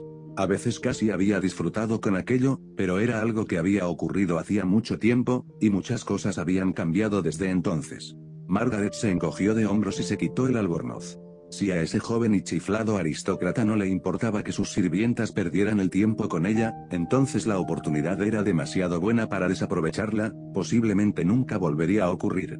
El baño se llenó rápidamente, con mucho ruido de burbujas y de la presión del agua en el grifo, las sirvientas recogieron su cabello, y una de ellas añadió algo en el agua que produjo una infinidad de espuma de colores. Eso intrigó a Margaret, nunca había visto nada así. Una hora más tarde se sentía casi inclinada a mostrarse cortés de nuevo, había sido lavada, acariciada y masajeada, e incluso tuvo que arrodillarse mientras le rociaban los hombros con algo que olía a sándalo y que ardía como el fuego, y que distendió los músculos de su espalda y la alivió al instante de la tensión y el cansancio. Había un vestido preparado para ella, algo formal, con un amplio escote y metros de vaporosa falda, y una diadema de diamantes para su cabello. La ropa le caía a la perfección, se agitó en su interior, sintiendo la satinada limpieza de su piel bajo la tela, y se preguntó con curiosidad hasta qué punto tenía Robert equipado el castillo con sus aparatos de seducción. Más tarde descubrió que había ordenado que saquearan el guardarropa de su hermana, ausente en aquellos momentos, cualesquiera que fuesen sus errores, ciertamente no hacía las cosas a medias. Ahora se sentía muy preocupada por Sara y sus padres, pero los acontecimientos parecían haber pasado ante ella al galope, ya le resultaba bastante difícil tratar de seguir el ritmo. Se hizo de noche sin que ella se diese siquiera cuenta. El ocaso llenó toda la zona de sombras largas y finas, con intensos y luminosos reflejos de las ventanas de cristales múltiples, el castillo parecía chocar contra la inmensa niebla del oeste como la proa de un barco de piedra. Los sonidos de la feria flotaban en las murallas, gritos, el estrépito de los órganos, las roncas vibraciones de los coches. La cena se sirvió en el salón del siglo XVI construido al lado de la torre del homenaje, los comensales, elegantemente vestidos, dieron un paseo cogidos del brazo en medio de un ambiente cálido. Margaret se sintió levemente decepcionada cuando oí Diego que la gran fortaleza había servido únicamente, durante siglos, como almacén y armería. En ocasiones especiales y en días de fiesta, los señores de Parbeck acostumbraban a tomar sus comidas a la antigua usanza reintroducida por Gisebio, los invitados menos favorecidos se sentaban en largas mesas en el centro del salón, mientras que la familia y los amigos personales comían en una tarima elevada en uno de los extremos. Las lámparas ardían profusamente, iluminando de forma brillante el lugar, la galería de los trovadores estaba ocupada por una pequeña orquesta, los sirvientes y doncellas corrían de un lado para otro y tropezaban constantemente con los perros, brachets y mastines que cubrían el suelo. Margaret, aún algo aturdida, fue presentada a Lady Marianne, la madre de Robert, y a la media docena de invitados importantes. Su mente, no muy clara, se negó a aceptar sus nombres, ser Frederick algo, su eminencia el arzobispo de alguna parte. Hizo las reverencias de forma automática, y finalmente se dejó llevar hasta un lugar a la derecha de Robert. Un frío hocico empezó a hurgar en su falda, acarició distraídamente al Brachet, rascándole detrás de las orejas, y esto sorprendió a su anfitrión. Sabes, estás recibiendo un gran honor. Por lo normal nunca se acerca amistosamente a nadie. El otro día tuvo un pequeño altercado con los vigilantes, sonrió, alegre le costó dos dedos a un sargento. Margaret retiró cuidadosamente la mano. La mutilación parecía ser una fuente de diversión importante para Robert. Él había oído el nombre de Margaret en más de una ocasión, la había presentado por él al menos una docena de veces, pero parecía como si no acabara de recordarlo. Ella le pidió, con toda la dignidad que fue capaz de reunir, que enviara un mensaje a su casa. Sus ojos no habían pasado por alto la torre de señales medio camuflada al lado de la fortaleza, ni la otra torre de enlace en una colina cercana. Él la escuchó con atención, mostrándose levemente sorprendido, inclinando un poco la cabeza para oír mejor, luego chasqueó los dedos para llamar la atención al paje de señales, que andaba por allí cerca. Strange, dijo que Strange. Mi padre, dijo fríamente Margaret, es Timothy Strange, de Strange e hijos, Darnovaria. La bomba causó su efecto. Robert carraspeó, alzó las cejas, bebió un largo trago de vino y empezó a repiquetear con los dedos sobre un dibujo del mantel. Maldita sea, dijo maldición. Bien, me casaré con una maldita búlgara. Robert o Y o la voz de Lady Marianne, un poco más allá en la mesa. Hizo una inclinación hacia su madre, sin mostrar vergüenza alguna. Ya veo, dijo bien, eres una jovencita de muy mal carácter, y creo que esto explica, trazó unos garabatos en una libretita, que entregó al paje de señales apresúrate a enviarlo, muchacho, o se nos irá la luz. El chico se marchó corriendo, unos minutos más tarde, Margaret o el claquetear de los brazos de señales, y el ruido de la respuesta de la torre de la colina. Fue recibida una señal de reconocimiento antes de que se hiciera de noche, un escueto mensaje recibido y entendido. Margaret intuyó que desde aquel momento había caído en desgracia. La noche transcurrió con rapidez, incluso demasiada para el gusto de Margaret, podía imaginar muy bien la recepción que la aguardaba en casa. La cena fue seguida por un espectáculo a cargo de un grupo de acróbatas con perros amaestrados que saltaban aros y corrían de un lado para otro sobre sus patas traseras, vestidos con faldas y pantalones, la exhibición fue un éxito. El peligro de muerte que corrió uno de los artistas, atrapado y zarandeado por los quisquillosos perros de Robert, apenas deslució la sesión. El número de los animales fue seguido por un juglar, un hombre de largo rostro y mirada lastimera que, evidentemente aleccionado por Robert, lanzó al aire una serie de rimas en un cerrado dialecto que Margaret apenas pudo seguir pero que hicieron las delicias de Robert. Luego pasaron bandejas con frutas y nueces, y más vino, la fiesta finalizó bien pasada la medianoche, con Robert pidiendo a gritos que acudieran los pajes para acompañar a Margaret a la habitación que había sido dispuesta para ella.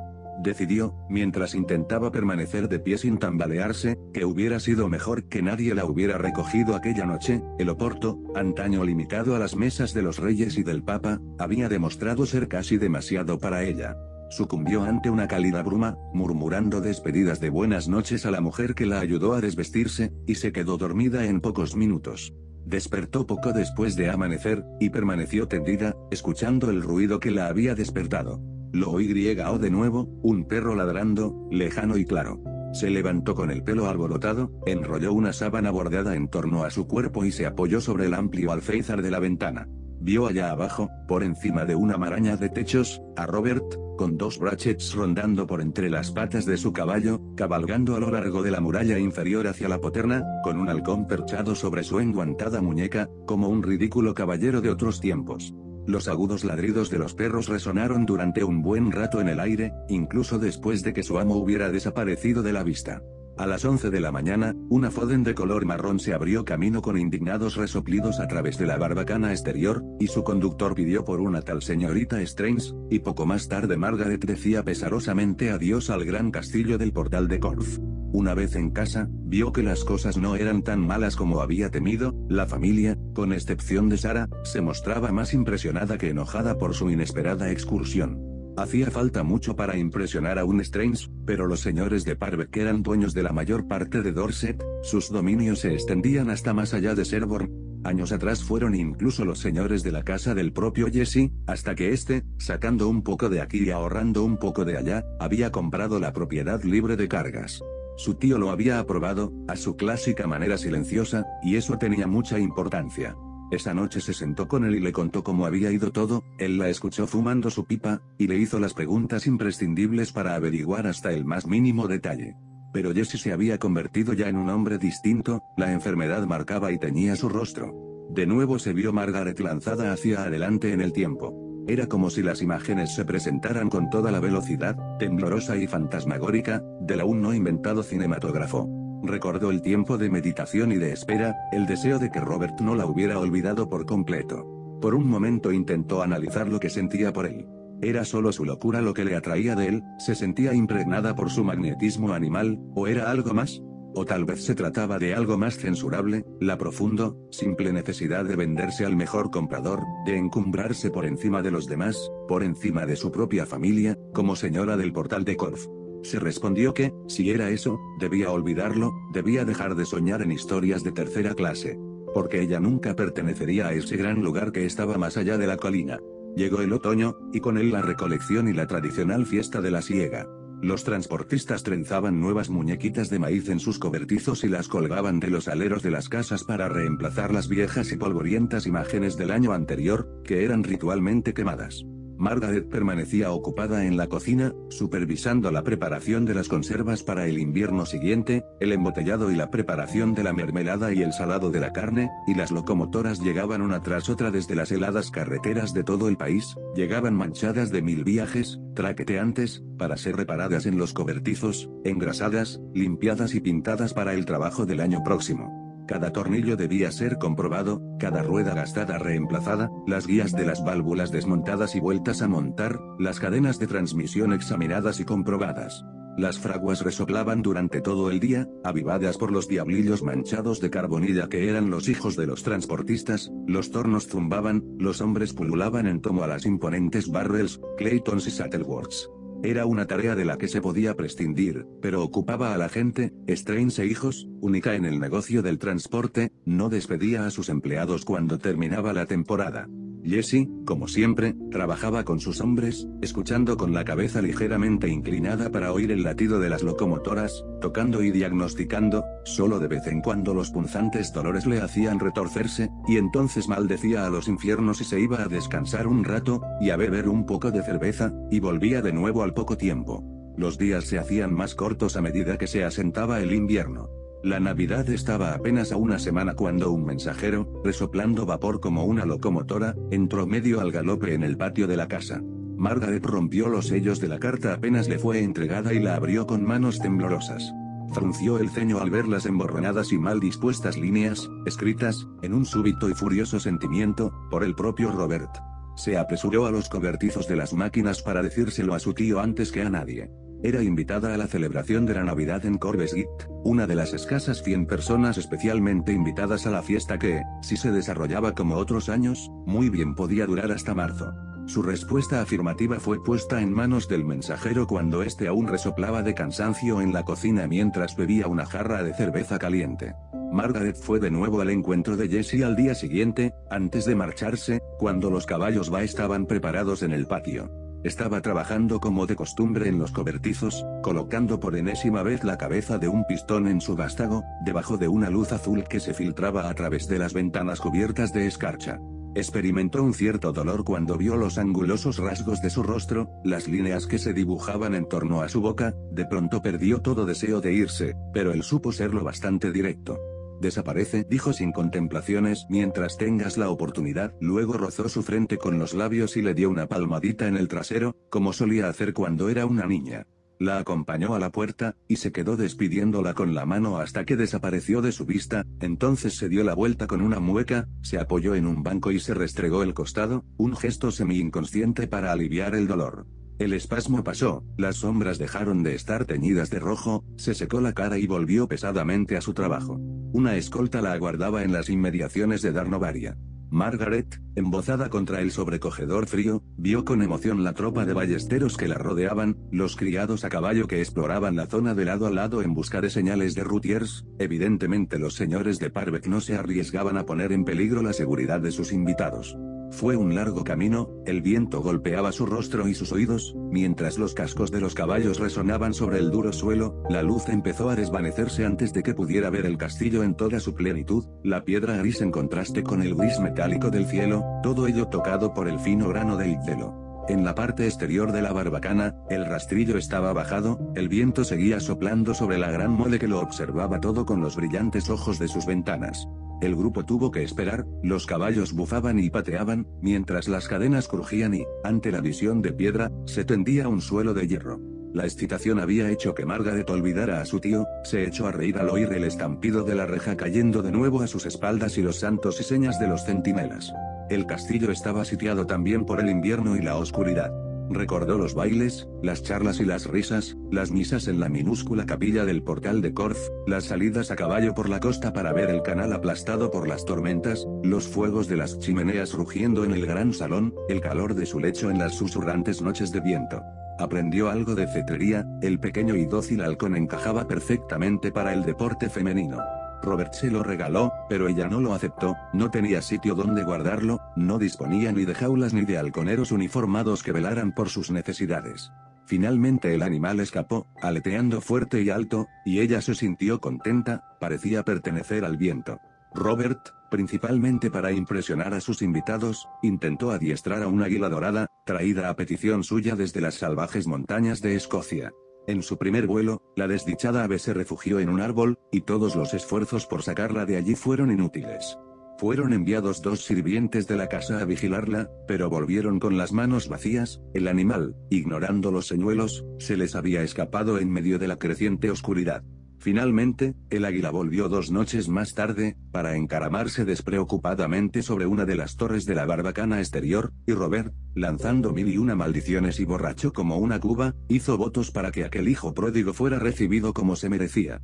No había nada mejor que el mortero del castillo, una pieza antigua que ya ni se sabía cuándo había sido disparada por última vez, dicho y hecho, en un momento había conseguido la pólvora y la munición necesarias de la armería. La bala reventó un metro cúbico de mampostería a un lado de la puerta, casi decapitando al oficial despensero y llevando al borde de la histeria a una invitada mientras el sorprendido animal, desequilibrado de su pedestal por la onda del impacto, echó a volar para no volver a ser visto. En la víspera del año nuevo, Robert llevó a Margaret de excursión a las alturas de la antigua muralla. Se detuvieron en la abertura de una tronera, a más de 500 pies por encima del páramo, con el viento ardiendo en su cara y golpeando furiosamente las rocas, y Robert se rió de los fuegos encendidos por las brujas que se extendían por los alrededores, brillando como ojos en el horizonte. Un lobo aulló en alguna parte, agudo y estremecedor, Margaret sintió que un escalofrío recorría todo su cuerpo al oír el antiguo ruido perdido procedente de la oscuridad. Él vio su reacción y la cubrió con su capa, permaneciendo detrás de ella, con los brazos rodeando su cintura, ella se volvió, acercándose más a él, sintiendo el calor y el lento movimiento de sus manos, hundiendo el rostro en su hombro mientras él le acariciaba el cabello que caía sobre sus ojos. Deseaba llorar porque el tiempo transcurría demasiado rápido y porque todas las cosas eran transitorias.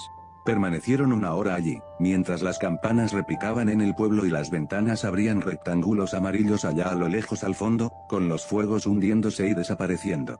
En más de un calendario había empezado un nuevo año. Después de aquello, Margaret visitó Corbesgate repetidas veces, mientras el invierno se convertía en primavera, y la primavera en verano. Observó cómo los habitantes del pueblo bailaban la danza de la víspera del solsticio de verano, y cómo alimentaban un caballo de juguete con unas monedas que sus rotos dientes de madera no podían sostener. En una ocasión, Robert, con el Bentley en el taller con un amortiguador delantero aplastado tras alguna juerga, destrozó un coche mariposa en el pueblo de Laim, sus nervios estallaron, y cumplió su amenaza de arrojar el vehículo al mar desde el Golden Capítulo durante todo el año las notas no dejaron de llegar a Darnovaria, ya fueran llevadas por un soldado o por un mensajero en sus periódicas rondas. Margaret confundía al futuro señor de Corf, quizá le preocupaba un poco. Ella no pertenecía a su sangre, pero tampoco pensaba como una plebeya, como los siervos que él apartaría de su camino con un simple bocinazo de su Bentley. Ella no se sonrojaba ni sonreía tontamente, haciéndose la niña como una mujerzuela de pueblo cuando él le acariciaba los pechos, era digna y tranquila, y siempre había algo de tristeza en sus ojos. Por su parte, Margaret tenía la impresión de que existían cosas inexplicables entre ellos dos, un entendimiento más profundo que las palabras. A su manera, bajo la tempestuosidad y la indecisión de sus pensamientos, él la necesitaba, algún día, de una manera formal, le pediría que fuera su esposa. Se estremeció, recordando el final de todo un mundo. Fue una noche de agosto, los grillos entonaban su interminable y monótono cri-cri, el sonido parecía penetrar en el cerebro y en la sangre, imponiendo su imperiosa extrañeza, existente e inexistente a la vez. El castillo se alzaba majestuoso en la cálida oscuridad que lo rodeaba, y en todas partes, en las murallas, en las paredes y en los patios, allá abajo en el húmedo foso lleno de árboles, las luciérnagas brillaban como lentejuelas verdes fosforescentes cosidas al negro terciopelo de la hierba. Cogió una con una mano, resplandecía inmóvil, distante y misteriosa. Había un olor especial en el aire, cálido y denso, era el sabor de principios de otoño. Una brisa rozó su rostro, le pareció como una excitante fantasía que acudía en forma de viento desde un extraño pasado. Robert estaba pensativo, silencioso, de un humor que nunca le había visto antes. Había un fuego encendido en las cocinas, el resplandor se agitaba sobre la piedra, iluminando la inmensa masa de la torre del homenaje. Motas de ceniza se alzaban chispeantes en el cielo, él le dijo que eran como las almas de los hombres moviéndose por el infinito, brillando por un tiempo y desapareciendo luego en la oscuridad.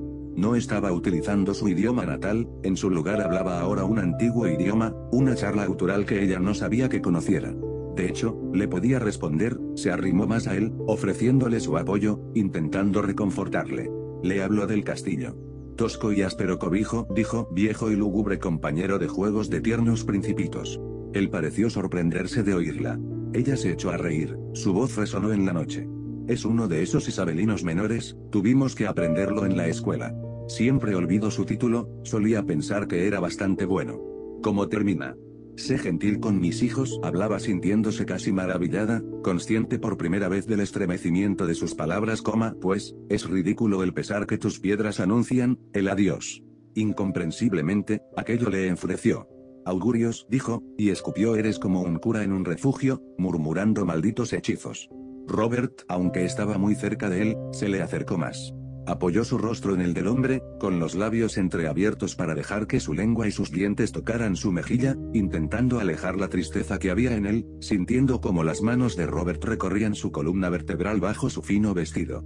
Ella le acarició y le besó, los dedos de Robert estaban acostumbrados a ella, disfrutándola del modo que sus ojos disfrutaban de la fuerte cabeza de un perro de caza o del vuelo de un halcón de la misma manera que su boca saboreaba la textura de una comida y de un buen vino.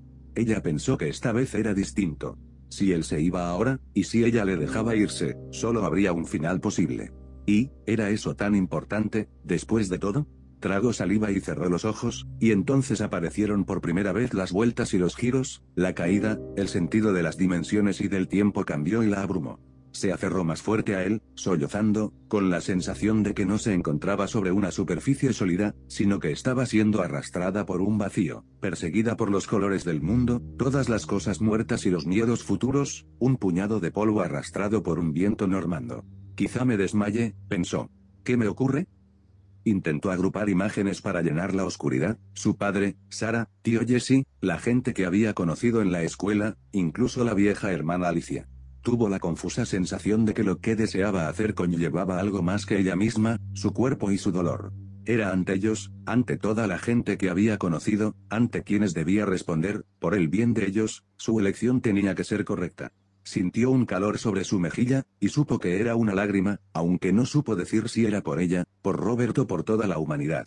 Se acostó con él aquella misma noche, acudiendo a él una y otra vez, confortándole y siendo confortada, a veces como una madre, a veces como una niña aislada en la oscuridad, hasta que incluso su amante se apartó de ella, perdido en un sueño demasiado profundo para poder alcanzarlo. La despertó el senescal de Lord Edward, él, de entre todas las personas, con la historia de que Robert había sido convocado para unos asuntos con el rey, y que tenía orden de acompañarla a su casa. Ella permaneció inmóvil en la cama, aún medio aturdida por el sueño, y, lentamente, su rabia creció. Leyó, en aquellos extraños ojos y en aquella angulosa cara de gato, una cara que curiosamente nunca podía recordar apenas dejaba de verla, lo que ya sabía en lo más profundo de su ser que el encantamiento, si es que era un encantamiento, ya no existía, que se había vendido por una hermosa historia, que ahora Robert había recobrado la razón, que un señor de Parbeck nunca mezclaría su sangre con la de una muchacha de su rango y clase social. Hecho al senescal, gruñendo y llena de rabia, se levantó y se miró al espejo, dándose la vuelta para poder contemplar enteramente su nuevo cuerpo de mujerzuela, se lavó, salpicando furiosamente el agua por todo el suelo. La cama estaba manchada, tiró de las sábanas con ira, dejándolas allá para que todo el mundo pudiera verlas. Insultó al senescal cuando fue a buscarla, lanzando promesas de venganza a sabiendas de que no podría cumplirlas, ni ella, ni su padre, ni la poderosa firma de Strange e hijos, con todo su dinero y poder. Porque no existía una ley en esta tierra, no para los plebeyos. Ricos y pobres debían mantenerse por igual en su lugar, a capricho de sus señores, y los señores recibían sus feudos de manos del rey de Inglaterra, y él se sentaba en su trono por obra y gracia del trono de Pedro.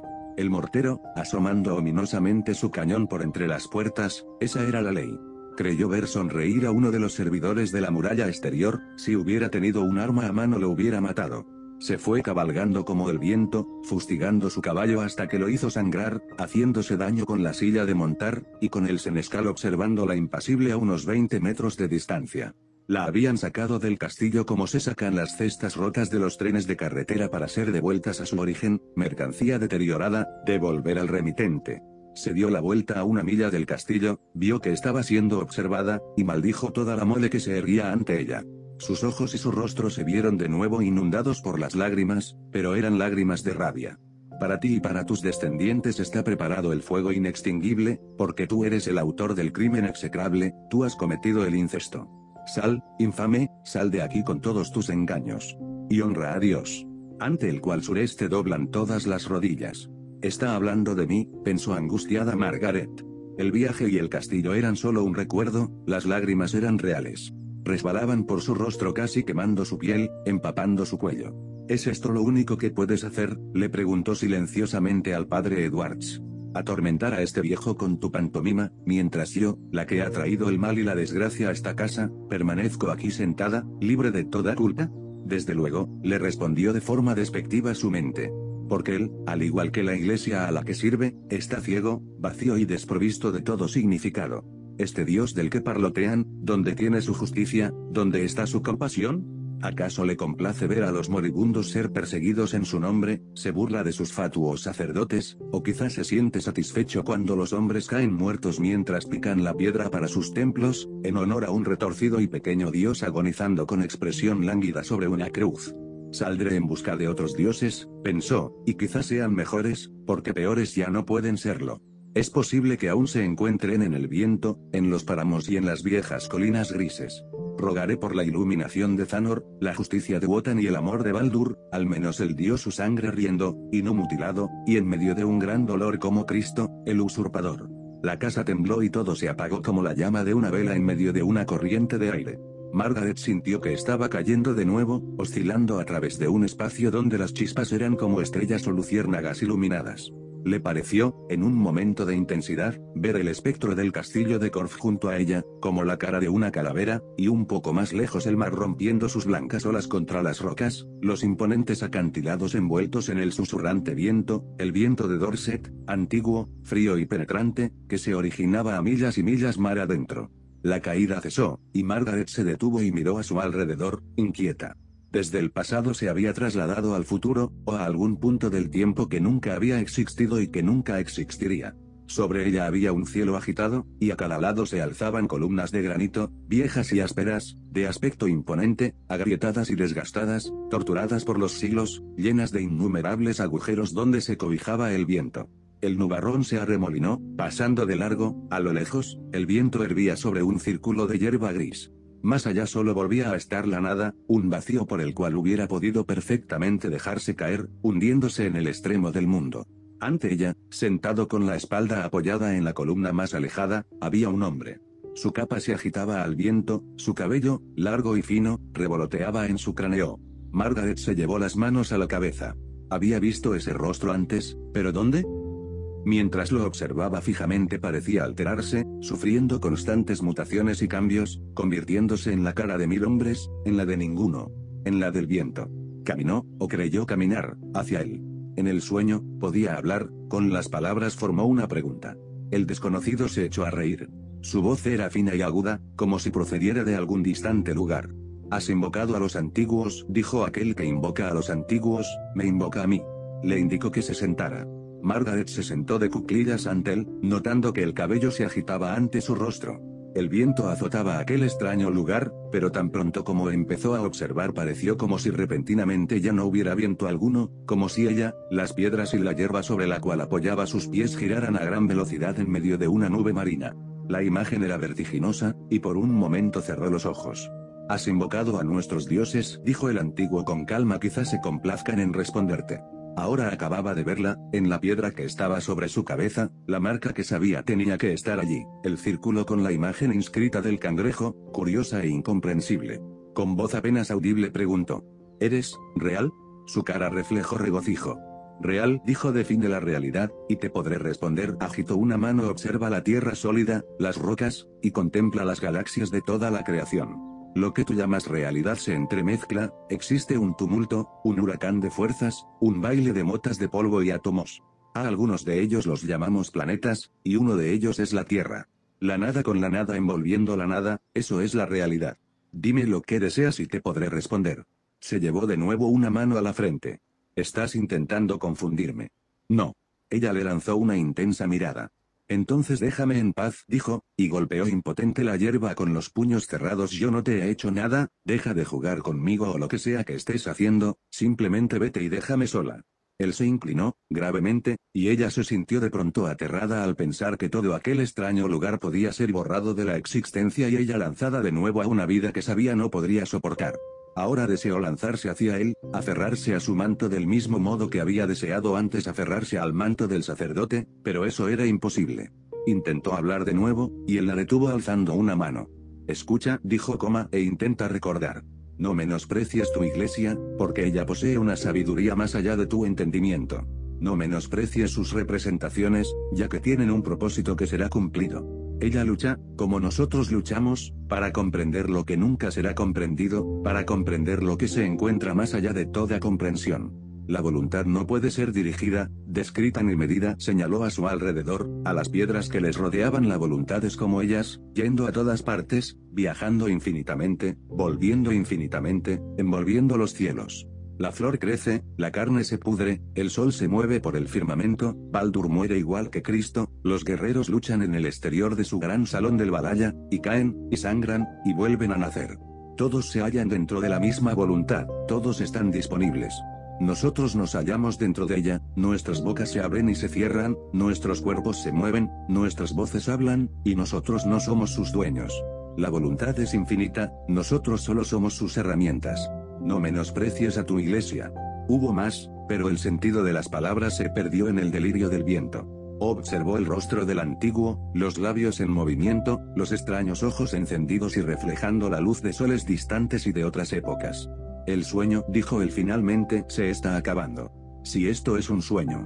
El gran baile termina, y otro empezará en su lugar, sonrió, y tocó con los dedos la marca cincelada sobre su cabeza. Ayúdame, dijo ella en una desesperada explosión, rogando por favor. Él agitó la cabeza, le pareció como lleno de compasión, observándola del mismo modo que ella había observado a las luciérnagas aferrándose a la vida, encima de la hierba. Las hermanas tejen el hilo, dijo lo miden y lo cortan. Es irremediable. Es la voluntad. Explícame, dijo ella por favor.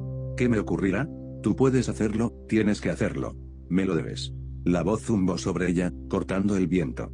Está prohibido, los ojos parecieron oscurecerse. Vigila el sur, dijo habrá vida para ti procedente del sur, y también habrá muerte.